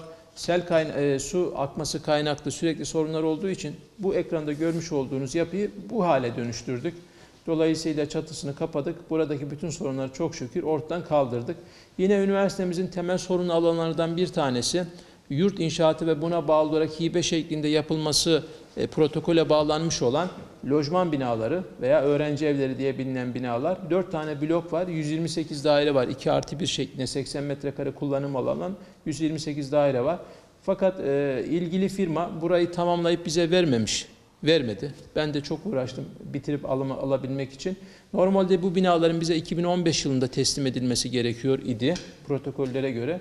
Ama e, süresi zarfında bitirilmediği gibi e, bitirilmiş haliyle de geç de olsa bize teslim edilmedi. Biz de e, ilgili firmanın ve hesabına ihaleye çıkarak e, son aşamasına getirdik. E, iki tane daha e, e, işimiz var. Onu da tamamlayıp iskanını almak suretiyle burayı en kısa zamanda kullanıma açacağız. Şu an itibariyle oranın çevre düzenlemeleri vesaire iş dizaynları yapıldı. Sadece iki tane işimiz var. Bir data ihalemiz var. Isıtma. Bir de ısıtma şey e, ısıtma doğalgazla ilgili ve şeyle ilgili iki tane. Onu da bitirip inşallah burayı e, akademik ve idari personelimizin lojman ihtiyacını karşılama amaçlı olarak kullanacağız. Dolayısıyla kampüs içerisinde 128 adet evimiz e, personelimizin e, ihtiyacı için kullanıma sokulmuş olacak. E, İlahiyat Fakültesi içinde bulunduğumuz bina Ee, tekrar bu vesileyle Muhammed İhsan Oğuz Vakfı'na teşekkür ediyoruz. Bu bina bitirildi. Geçen yıl Ocak ayı itibariyle teslim alındı ve e, şu haliyle faaliyete geçmiş oldu. Bugün itibariyle bu binada yaklaşık 1400 öğrencimiz var. İlahiyat Fakültesi, 200'e yakın tıp fakültesi öğrencimiz var. Taşınacaklar. Ayrıca e, bu pandemi sürecinde üniversitemizin yükünü çeken Kastamonu Üniversitesi Uzaktan Eğitim Merkezi de bu bina içerisinde konuşlandırıldı. Onu da yeri gelmişken ifade edelim. Çok güzel, nitelikli, hakikaten e, üst düzey bir e, eğitim öğretim binası oldu. Bu binanın içerisinde şu an eski salonumuz, senato salonumuz buydu. E, İnşallah onun yerine bugün içerisinde bulunduğumuz bu salonu inşa ettirdik. Gelelim meslek yüksekokulu olarak kullandığımız İBF binasına. Bu bina talihsiz bir bina. E, Maalesef pek çok talihsizliği beraberinde yaşamış olan binalardan biri. Morfoloji binası gibi. Müteahhit geçen yıl iflas etmişti. E, %95 oranında bize kaldı bina. E, Çok uğraştık müteahhitle bu süreci yönetebilmek için ama muvaffak olamadık. En son iflas edince biz burayı tekrar ihaleye çıkardık. Kalan işleri bitirmek üzere E, çok kötü bir bina durumdaydı. Çok şükür bugün dün itibarıyla bu bina artık eğitim öğretim faaliyetine başladı. Şu an içinde öğrencilerimiz var. 2700 öğren 2732 öğrencinin kayıtlı olduğu meslek yüksekokulu binası olarak kullanılıyor. Hemen yeri gelmişken ifade edelim. Biliyorsunuz Kastamonu Meslek Yüksekokulu üniversitemizin hemen girişinde, Kuzeykent e, girişinde e, 1990'lı yıllarda yapılmış olan bir bina. Ancak 2013 yılında e, yapılan bir deprem tahkik raporu ile beraber güçlendirmeye ihtiyaç duyduğu e, kayıt altına alınmış. E, fakat süre içerisinde güçlendirmesi yapılmadığı için bina e, deprem açısından taşımış olduğu riski daha da artırarak devam etmiş.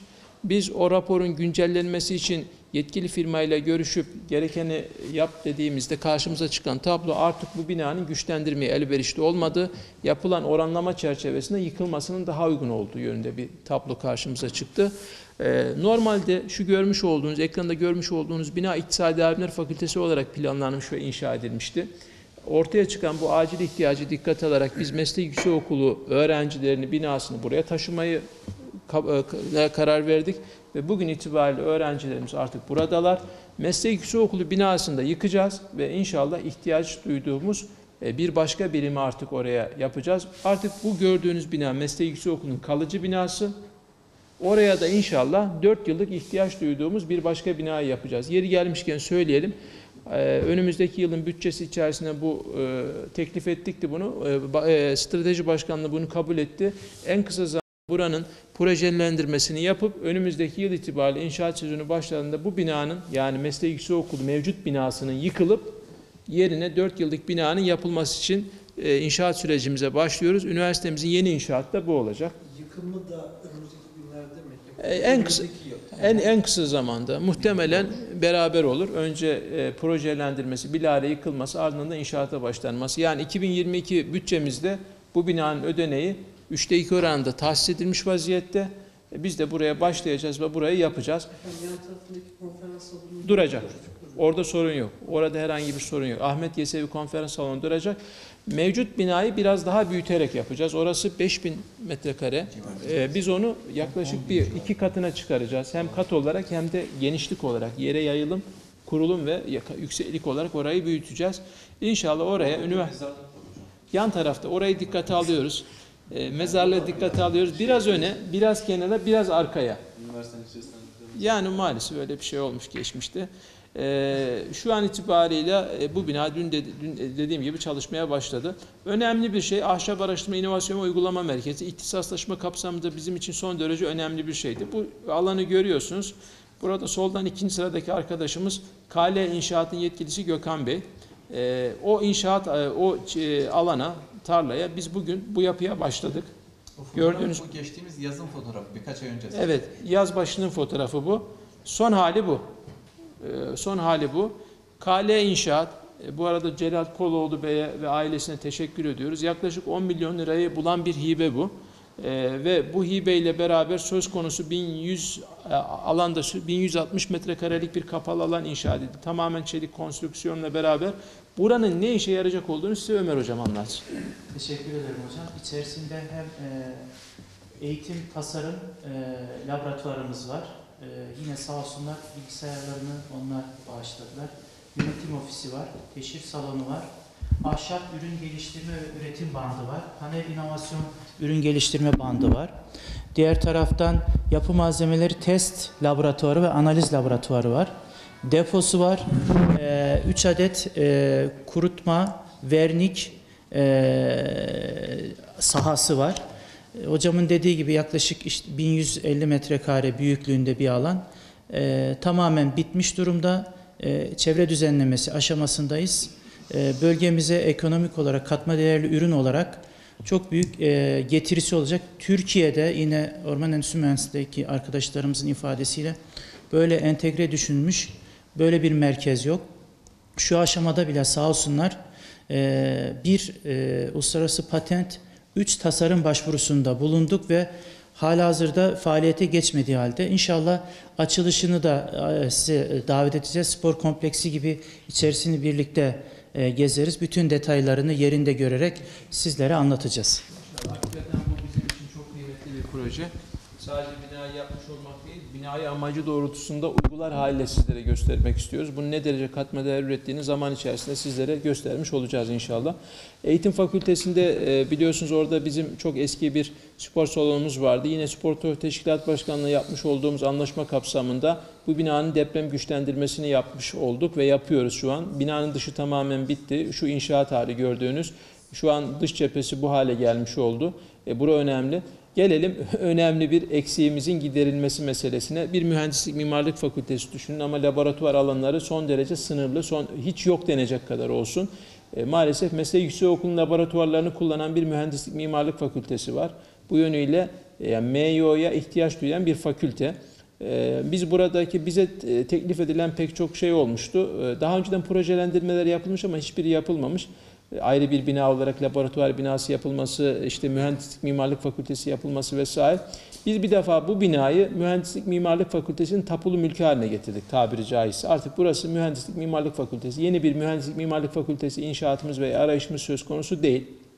Bu binanın içerisinde KUZEM, e, Kastamonu Üniversitesi Uzaktan Eğitim Merkezi olarak kullanılan alanları biz tahliye ettikten ve onları İlahiyat Fakültesi bünyesine taşıdıktan sonra ee, yeni alanlar oluşturduk Kasım Hocam'la beraber, Esat Bey'le beraber çalışarak ve bu çerçevede yaklaşık 500 metrekarelik e, alt Toplam 9 tane. 9 tane laboratuvar alanı oluşturduk.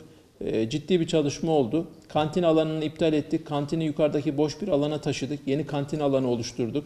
Ve tümünde 9 tane laboratuvar olmak üzere her biri 60'er metrekare 500 metrekare civarında bir laboratuvar alanı oluşturduk ve bunu da fakülte yönetimi kendi içerisinde mühendisliğin çeşitli alt dallarına tahsis etmiş oldu.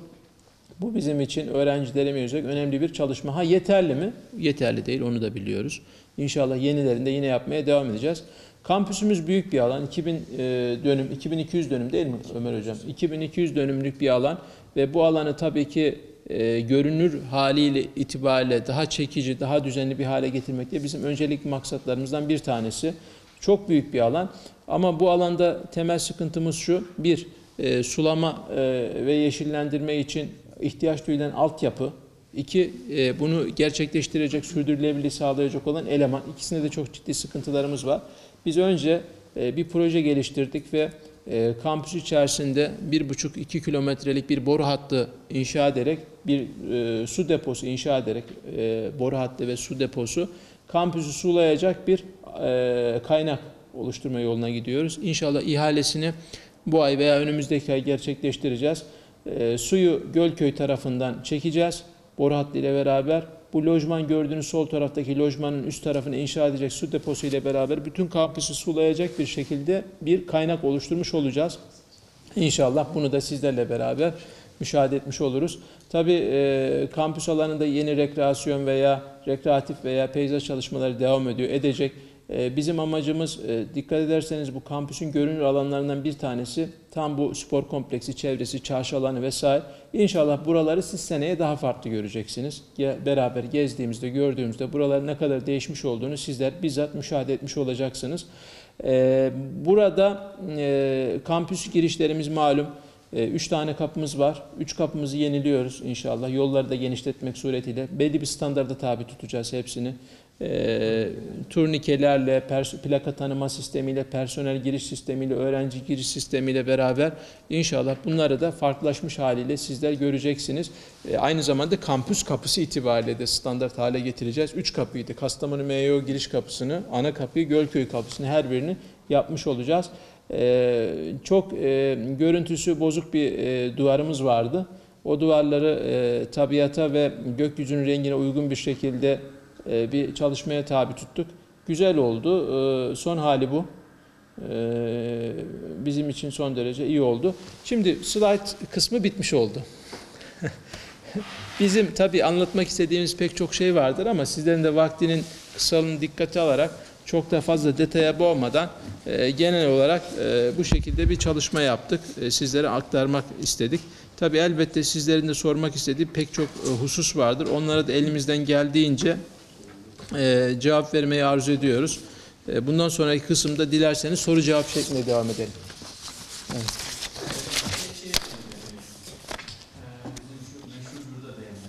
Yurt meselesini tabii. Şöyle ben yurda dair hemen şöyle söyleyebilirim.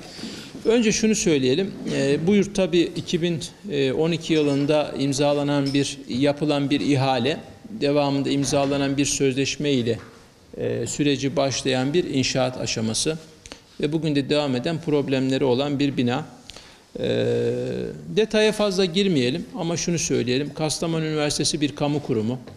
E, kamu kurumu olması sebebiyle tabi olduğu pek çok yükümlülükler ve elbette sahip olduğu bir takım hukuki ve idari sorumluluklar söz konusu. Bizim bu sorumlulukların idrakinde bir idare olarak hiçbir şekilde keyfi bir surette öğrencilerimizin e, can güvenliğini ve aynı zamanda devletin mal güvenliğini tehlikeye atacak herhangi bir sürecin içerisinde olmayacağımız bilinmeli. E, Biz idarenin sahip olduğu ciddiyetle ve mesuliyet duygusuyla beraber bu binaların e, sağlıklı bir şekilde can ve mal güvenliğine herhangi bir tehdit oluşturmayacak bir şekilde hizmet verebilmesi için üzerimize düşen tüm vazifeleri dün olduğu gibi- dün yaptık, bugün de yapıyoruz, yarın da yapmaya devam edeceğiz. Bunu öncelikle belirtmek isteyelim. Zira e, yer yer e, çeşitli yerlerde üniversitenin keyfi bir surette güçlendirme e, çalışmalarına mani olduğu yönünde bir takım lafların dolandığını bizler de duyduk. Üzülerek duyduk. Niye üzülerek duyduk? Bu yurdun e, ben göreve geldiğimin hemen ikinci ayından itibaren Sayın o dönemki valimiz Yaşar Karadeniz Bey'in bize göndermiş olduğu bir resmi yazıya istinaden biz sürecini başlatmıştık. E, ve burada da üzerimize düşen tüm sorumlulukları ciddiyetle yerine getirmişken maalesef bu tekim bu bu şekil bir takım tezviratlara konu olmak bizleri hakikaten takdir edersiniz ki üzdü. Ee, biz şunu söyleyelim. 2700 öğrencinin kalabilecek olduğu bir yurdu atıl duruma getirerek ne elde edebiliriz? Bizim bundan ne karımız olabilir?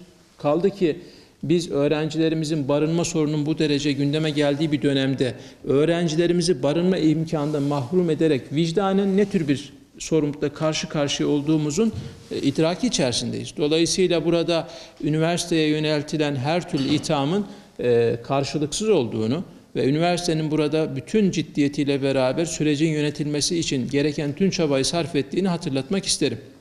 Yurda dair son durumumuz şu. E, Daha önceden e, sizlere de ifade ettim.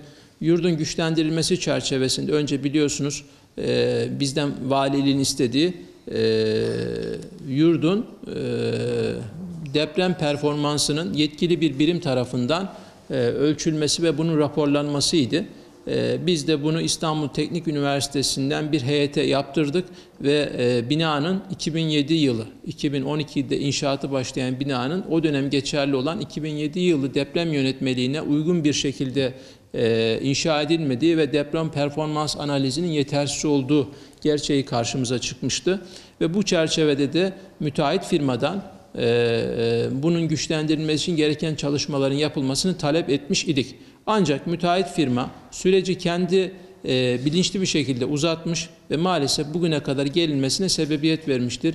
Biz hiçbir şekilde bir gün bile keyfi bir surette inşaatın gecikmesi ne yönelik bu tür bir anlama gelebilecek hiçbir faaliyetin içinde olmadık. Tam tersine yapıcı bir anlayışla ve bulunduğumuz konumların ve öğrencilerimizin barınma ihtiyacının getirmiş olduğu vicdani sorumluluğu dikkate alarak her türlü titizliği göstererek bu sürecin sağlıklı bir şekilde yürütebilmesi namına gereken her bir çalışmayı yaptık.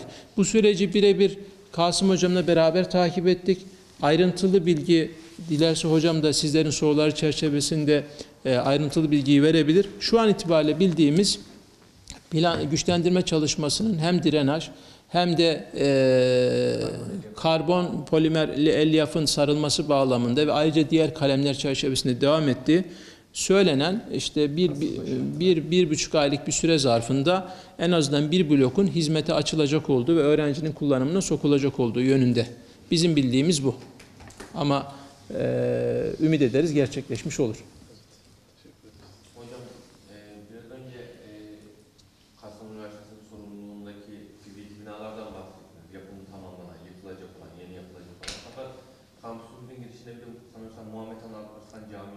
Evet. O da uzun bir süredir Evet. Altınbaşı'daydı. 2016'da başlamış yapımı. Evet. Şimdi biliyorsunuz e, cam, üniversite içerisindeki camiler üniversitenin yatırım bütçesi üzerinden e, projelendirilen ve bütçelendirilen inşaatlar değil.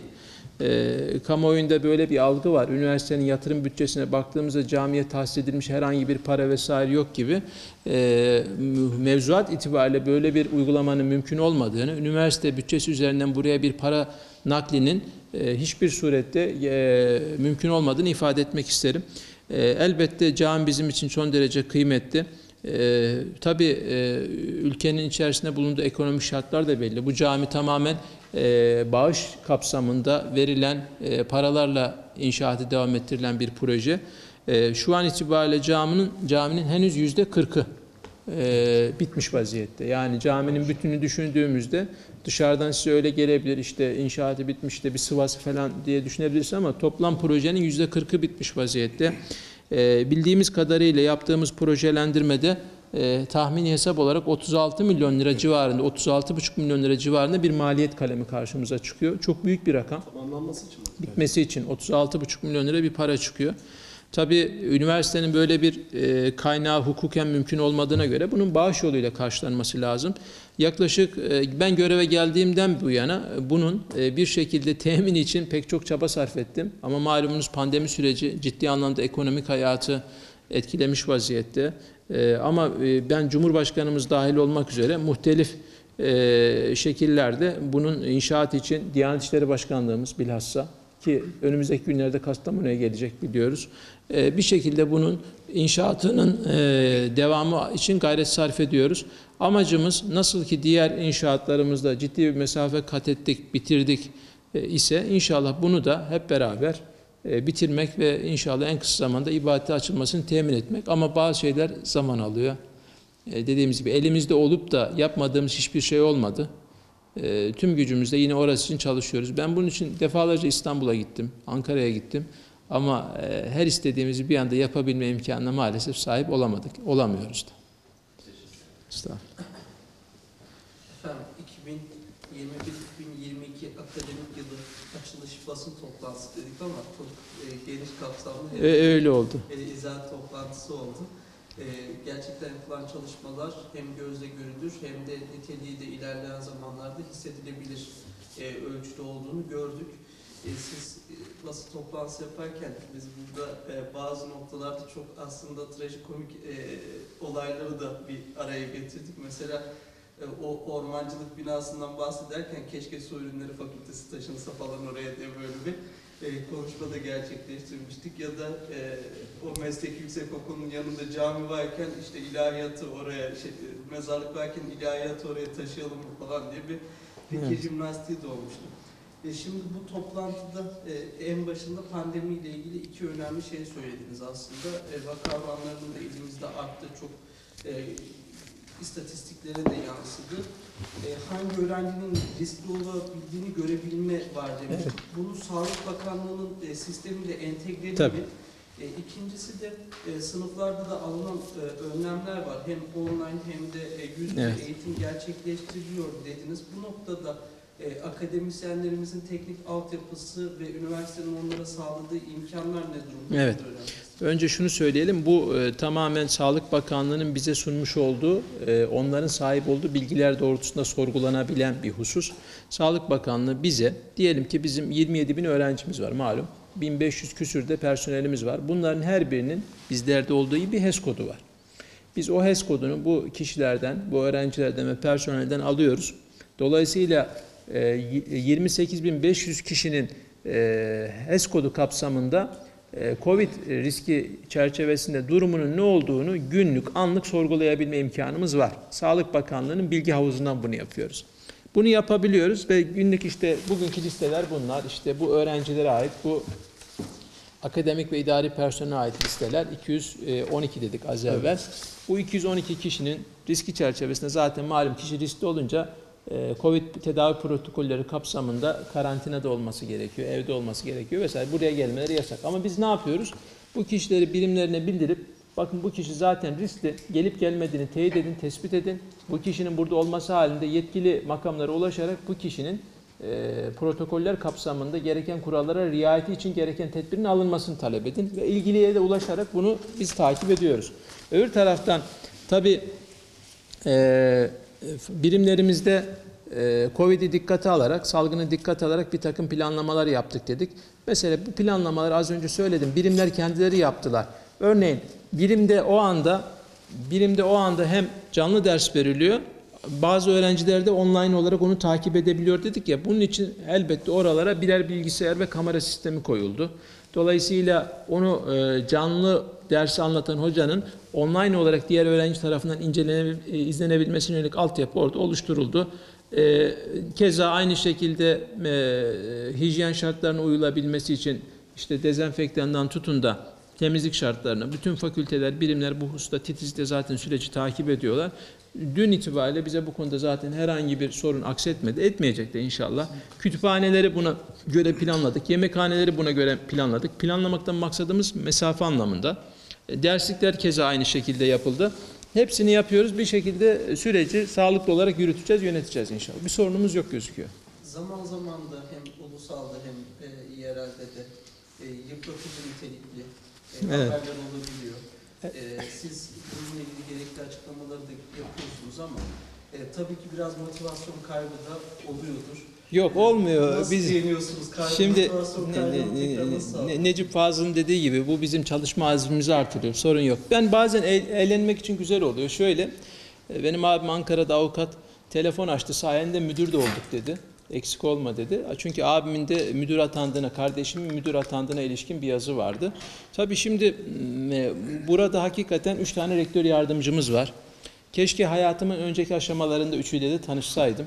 Ama üçüyle de rektör olarak atandıktan ve Kastamonu'da vazifeye başladıktan sonra e, tanıştım. Zira bunu söylememin sebebi oradaki ithamlardan, iddialardan bir tanesi rektör olduktan üç gün sonra arkadaşın rektör yardımcısı olarak atadığı Ömer Hoca, e, Atalan Hoca ve Kasım Hoca üçüyle de Kastamonu Üniversitesi'nde göreve başladıktan sonra tanıştık.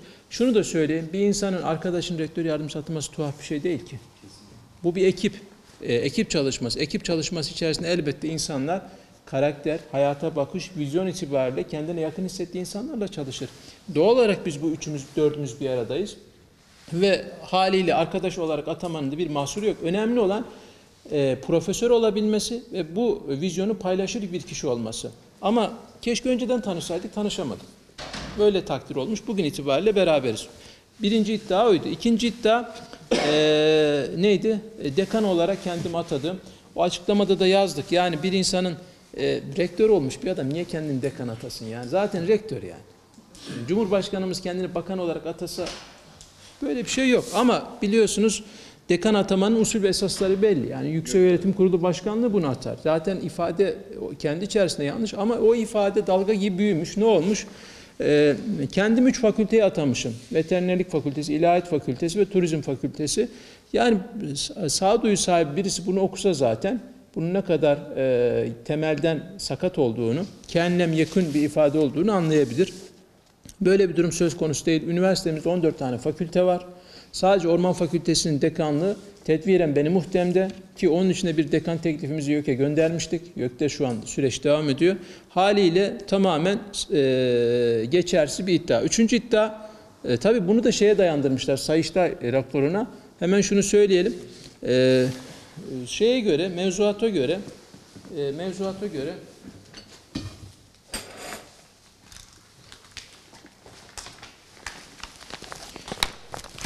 Mevzuata göre arkadaşlar e,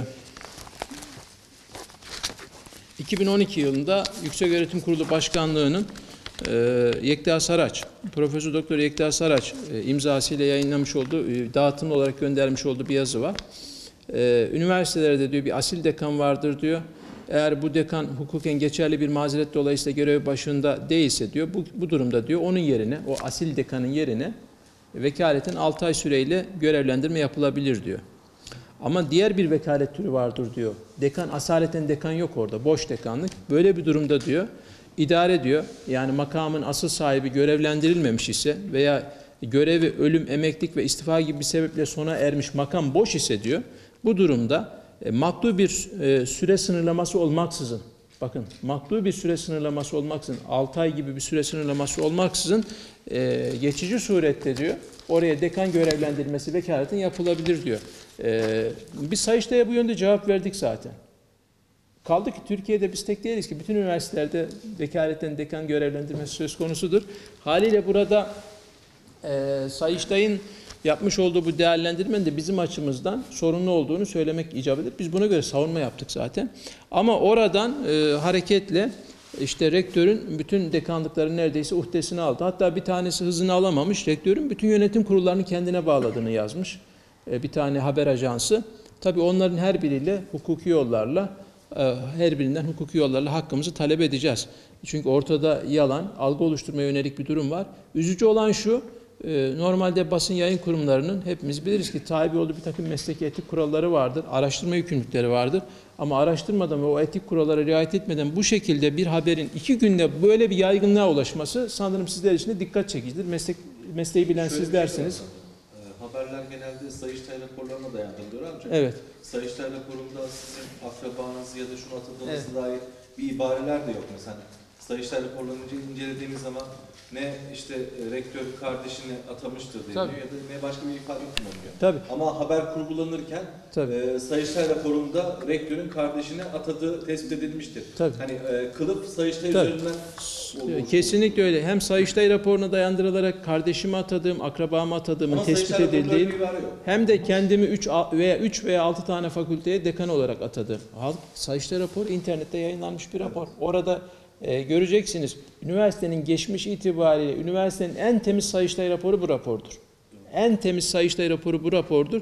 Çok şükür bugün itibariyle buradaki heyet hiçbir şekilde karşınıza bir ihaledeki yolsuzluk, kamuyu zarara uğratma Zaten veya görevi sonuçlarda %80 civarında tabii Bu düzeltilmiş siz- ibaresi var yani. Sizi hedef alan birileri var. Yani şöyle bu tür bir haberin sipariş bir haber olduğunu sizler basın mensupları için çok kolaylıkla tahmin edebilirsiniz. Yani böyle bir haberin çıkması normal sıradan bir haber değil. Yani biri servis etmiş veya birileri servis etmiş kolaylıkla hızlıca bir dönüşüm ağı, e, dolaşım ağına sokulmuş. E, Böyle bir şey var. Ha, Topal ifadesine gelince soy ismim Topal evet. E, kastedilen hocamız eğitim e, eğitim fakültesinde hoca nüfus dairesinden mahkemeye sunulmak üzere tazminat davasına konu olma e, destekleyici mahiyette delil teşkil etmesi itibariyle nüfus kayıtlarımızı istedim. Birinci, ikinci, üçüncü, dördüncü dereceden herhangi bir akrabalık bağım yok nüfus kayıtları burada. Dolayısıyla herhangi bir akrabam olmayan bir kişinin kardeşim olduğu, kuzenim olduğu. Kuzen ne demek? Tüttü, Tüttül Kurumu'nun kayıtlarına baktığınızda amca, dayı, tala, hayze, tecrü. Birinci derecede alt soy, üst soy, sülfuru, ikinci derece amca, dayı, tala, dayı, hala, teyze veya bunların çocukları veya işte üçüncü derece, dördüncü derece herhangi bir surette akrabalık bağımız yok. Nüfus kaydım buradadır. Sadece hemşirelik var sanırım. Hemşehrilik bağı var. Bu benim bu benim e, nüfus kaydım. Bu da ilgili öğretim üyemizin nüfus kaydı. E, dileyen arkadaşlarımız bunlara bakabilir. Birinci, ikinci, üçüncü ve dördüncü derece ki hukukta akrabalık dört derece üzerinden şekillendirilir. Dört derecede de herhangi bir akrabalık bağımız yoktur. Tamamen aynı memleket, aynı ilçedeniz. Zaten baktığınızda e, bu kayıtlardaki püf nokta, temel nokta hane numaralarıdır. Benim nüfusa kayıtlı olduğum hane 57 hane. Arkadaşımızın, hocamızın kayıtlı olduğu hane 11 hane. Ne alt soydan ne üst soydan e, bir akrabalık bağımız yok. Hiçbir şey yok. Hane numarası önemlidir ve e, dediğim gibi bunlar merak eden arkadaşlarımız için burada mahkemeye bunu sunmak üzere ben bunu hazırladım. E, ilgili nüfus dairesinden aldım. İnşallah bunu da sunacağız. E, tabii üçü de elde kalır ifadeler. Ee, hocamızın bağlı bulunmuş olduğu ana bilim dalında sanırım en Ya- üst e, ya kendisi var. şimdi Yani tuhaf- Kendisi olmayıp da ikinci bir kişinin olma ihtimali zaten yok. Tuhaf olan şu şimdi mesela Ünvan olarak en üst Şimdi kademede. Tömer Müdürü arkadaşımız Tömer Müdür. Tömer Müdür Türkçe Öğretimi Uygulama Araştırma Merkezi. Yani burada biz yabancı uyruklu öğrencilere e, veya kursiyerlere Türkçe eğitim veriyoruz. E, ve bunun da başında bir tane idareci oluyor. Siz burada bu eğitimi fizikçiye, kimyacıya verdirmezsiniz, tıpçıya verdirmezsiniz. Bu eğitimi Türk dili veya edebiyat alanında görev yapan kişilere verirsiniz. E, burada da bizim yaptığımız o oldu. Bir üniversite düşünün, Tömer'e atama yapılıyor. Tömer'e de eğitim fakültesinin Türkçe eğitimi ana bilim dalı başkanı olan kişi atanıyor. Bundan daha tabii olan bir şey yoktur ki. Ama algı şöyle yürütülüyor. Sanki sokakta yürüyen bir insan vardı. Biz onu tuttuk, aldık. Üniversiteye maaşlı eleman haline getirdik. Bir de ona bir ünvan verdik. Ya bu adam zaten 2000 yılından beri üniversitenin personeli. Gazi Üniversitesi Eğitim Fakültesinden bu yana personeli. Ve bu kişinin e, çalışma alanı Türkçe eğitimi bütün akademik ünvanlarını oradan almış doçent olan bir kişi ve benim akrabam değil. Burada kayıtlar burada birinci, ikinci, dördüncü derecede akrabam değil. Bunu özellikle size Hocam, göstermek isterim. Allah'tan e, soy isminiz Topal. E, başka hani böyle Demir olabilir, Özdemir olabilir, farklı böyle soy isimleri olabilirdi. O zaman Yılmaz olabilirdi. Üniversitenin listesine baktığınız zaman bununla ilgili 100 kişi çıkardı. Ya şimdi o zaman hepsi sizin akrabanız. ama ama burada şimdi amaç zaten bir algı oluşturmak. Algıyı da hakikatin önüne geçiriyorlar. Ne oldu şimdi? Belli bir kesimin gözünde Ahmet Hamdi Topal işte akrabasını dışarıdan alıp bir şey yerleştirip paraya bağlayan, müdürlük ünvanı veren, kendisine 4-5 fakülte dekanlığı bağlayıp 4-5 ayrı maaş alan, işte arkadaşını rektör yardımcısı at- atayıp nepotizme yol açan bir adam. E, Öyle bir şey yok ama yani biz ben o yüzden biraz eğlencelik gördüm olayı ama tek üzüldüğüm nokta anneme küfredilmişti yorumlarda. O yüzden dolayı çok canım sıkıldı. O yüzden dava açmaya karar verdim. Yani bu işi anneyi karıştırmak çok edepsizce, ahlaksızca bir şey. Eğer cesareti varsa gelsin bana karşı dava açsın, suç duyurusunda bulunsun. Ne yapsın? Ahmet Hamdi Topal görevini kötüye kullan desin, mahkemeye başvursun. Başımın üzerinde yeri var. Ama meseleyi annemi karıştırırsa, benim ailemi karıştırırsa o zaman alacak olduğu cevap farklı olacak. Benim abim avukat, şimdi abim annesinin hakkını savunmuş olacak. İnşallah. Bunun da üzerine gitmek bir evlat olarak benim vazifem. Bir rektör olarak uğraşmıyorum şu anda. Bir annenin oğlu olarak uğraşıyorum. 82 yaşındaki anneme o küfür eden insanlarla uğraşacağım. Sonuna kadar da uğraşacağım. Ve ona çanak tutan, buna e, sebebiyet veren haberi yapanlarla da uğraşacağım. Siz de benim yerimde olsanız aynısını yapardınız. Şimdi onunla uğraşacağım. Bir de bunun yani e, yüzde 99'u sol e, gazeteler, hep sol. Evet, bir tane de sağdan bir tane sağdan iki gazete var. Bir e, Milli Gazete var, bir Yeni Çağ var. Ya Topladığınızda bir ittifak. Yeni çağ şey değil ki sol yani derken e, geçti ya. Evet, evet, evet. Hocam şöyle söyleyeyim. Şimdi bahse konu, bahse konu gazete. Evet. bundan 5 yıl önce de yani bundan 5 yıl önce de o haberi yaptıran kişiler hakkında hani benzer haberleri yapan. Yani buradaki artık amaç hani şey değil. e, o yaptırmış, bu yaptırmış değil. Maksat işte haber olsun da kime hani hükümete ya da hani iktidarı nasıl e, sallayabiliriz noktasında yapılan şeyler. Yani burada hani hükümet iktidar olarak da şey artık gazetecilik başka bir noktaya evrildi yani hani bazı yapılar üzerinden. Yani Şimdi- siyasi bir amaç güdüldü. Çok açık çünkü gazete e, yani Bir de şu, şöyle bir şey var. Ben mümkündür. haberi kime yaptırabilirim? Mesela şimdi hani e, günümüzdeki hani e, siyasi e, şeye baktığımız zaman o gazeteleri yaptırabilirim. Tam tersi bir siyasi bir oluşumun olduğu bir e, dönemde olsaydı bu sefer de hani bir gün cumhuriyet olmazdı da bunu yapan e, bu sefer e, sabah olurdu, akşam olurdu onlar yapacaktı. Yani bu e, her dönem böyle bu şekilde olmuş Yani aslında. ta- haklısınız. Yani bu e, maalesef belli, basının içerisinde belli bir kesim bu şekilde yanlış haberlere imza atmayı e, belli amaçlar doğrultusunda gerçekleştiriyorlar. Hani biz de buna muhatap olduk. Esasen bu haber bugün yapılmış bir haber değildi. İki yıl önce bu haber yapılmıştı. O zaman Yeni Çağ gazetesi Aynen yapmış. Diğerleri e, oradan alıp ya- ya- yayına dönüştürmüşlerdi. Yeni çağda Fatih diye bir çocuk var. Fatih Ergin. Bir ara o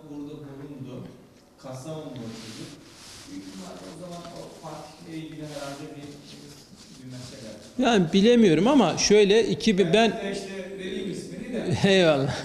Ee, ben 20 24 Mayıs 24 y- 24 Mayıs 2019 yılında göreve atandım. Ee, oradaki ifade şu, üçüncü gününde kardeşin, işte kuzenini veya kardeşini e, müdür atadı. Üçüncü günde arkadaşını rektör yardımcısı atadı. İlk rektör yardımcısı Atalan Hocadır. Atandığı tarih e, ka- e, 24 Haziran. 24 Haziran'dır. Ben göreve tam bir ay sonra atanmış. Ee, diğer Tömer'e atandığı iddia edilen hocamızın atandığı tarih 3 Temmuz 2020 19 tarihidir. Yani ben rektörlüğe atandıktan yaklaşık e, ne kadar ediyor? 39 gün sonraya denk- 39-40 gün sonraya geliyor. Yani ne 3 gün doğru ne e, arkadaşlık ilişkisi doğru ne akrabalık ilişkisi doğru hiçbirinin e, bir karşılığı yok. Dediğimiz gibi o iki yıl önce yapılan haberi biz o zaman ciddiye almadık. Ya dedik yani bizim işimiz gücümüz var biz bunlarla uğraşamayız. Fakat iki yıl sonra aynı haberin biraz da üzerine katılarak dekanlık vesaire ve getirilmesi ve özellikle dediğim hani bir evlat olarak e, karşılaştığım o tablo karşısında ben bunun peşine düşmek zorundayım. Gitmek zorundayım. Sonuna kadar da gideceğim. Ee, bir de şu var üstüne gitmeyince meydanı boş buluyorlar sanki öyle de bir üzerine getirip gidiyorlar.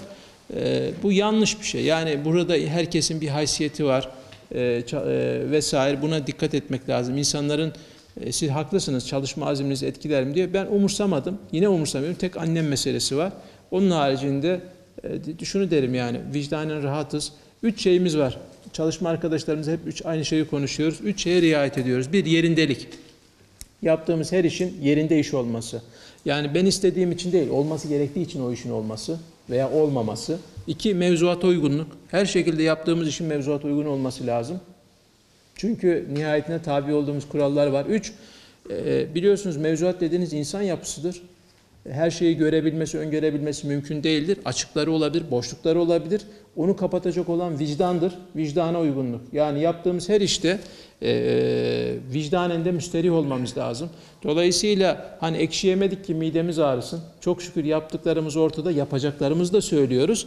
Elhamdülillah burada bir e, ihaleye e, fesat karıştırmaktan, görevi kötüye kullanmaktan, efendim bir binayı çürük yaptırmaktan veya kamuyu zarara uğratmaktan, kamu zarar çıkarılmasından dolayı bir haber yapılmış değil.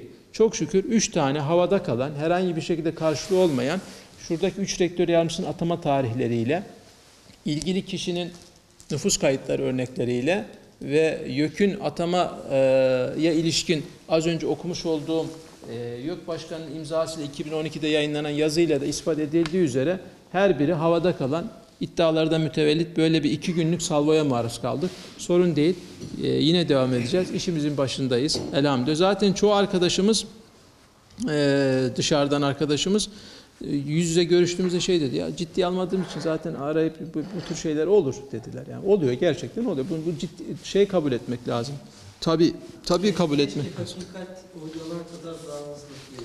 yani e, şimdi tabii o e, ya- yayan arkadaşların e, şahsiyetleriyle alakalı bir mesele. İnşallah bu işin yanlışlığı mahkeme kararı tespit edildiğinde onu yayabilecek, ortaya koyabilecek bir erdeme sahip olabilirler. Öyle ümit ederim. İnşallah diyorum. Yine bir insanlık, e, insan olmanın getirdiği bir ne diyelim duygu olarak. 2700 tane öğrencinin canını içe Eksikler sayacağından genelde bahsediyoruz. görüyoruz sayfada. Yani onu inşallah e, takip edeceğiz. Yani dolayısıyla bu haber meselesini ö- bu şekilde özetleyebiliriz.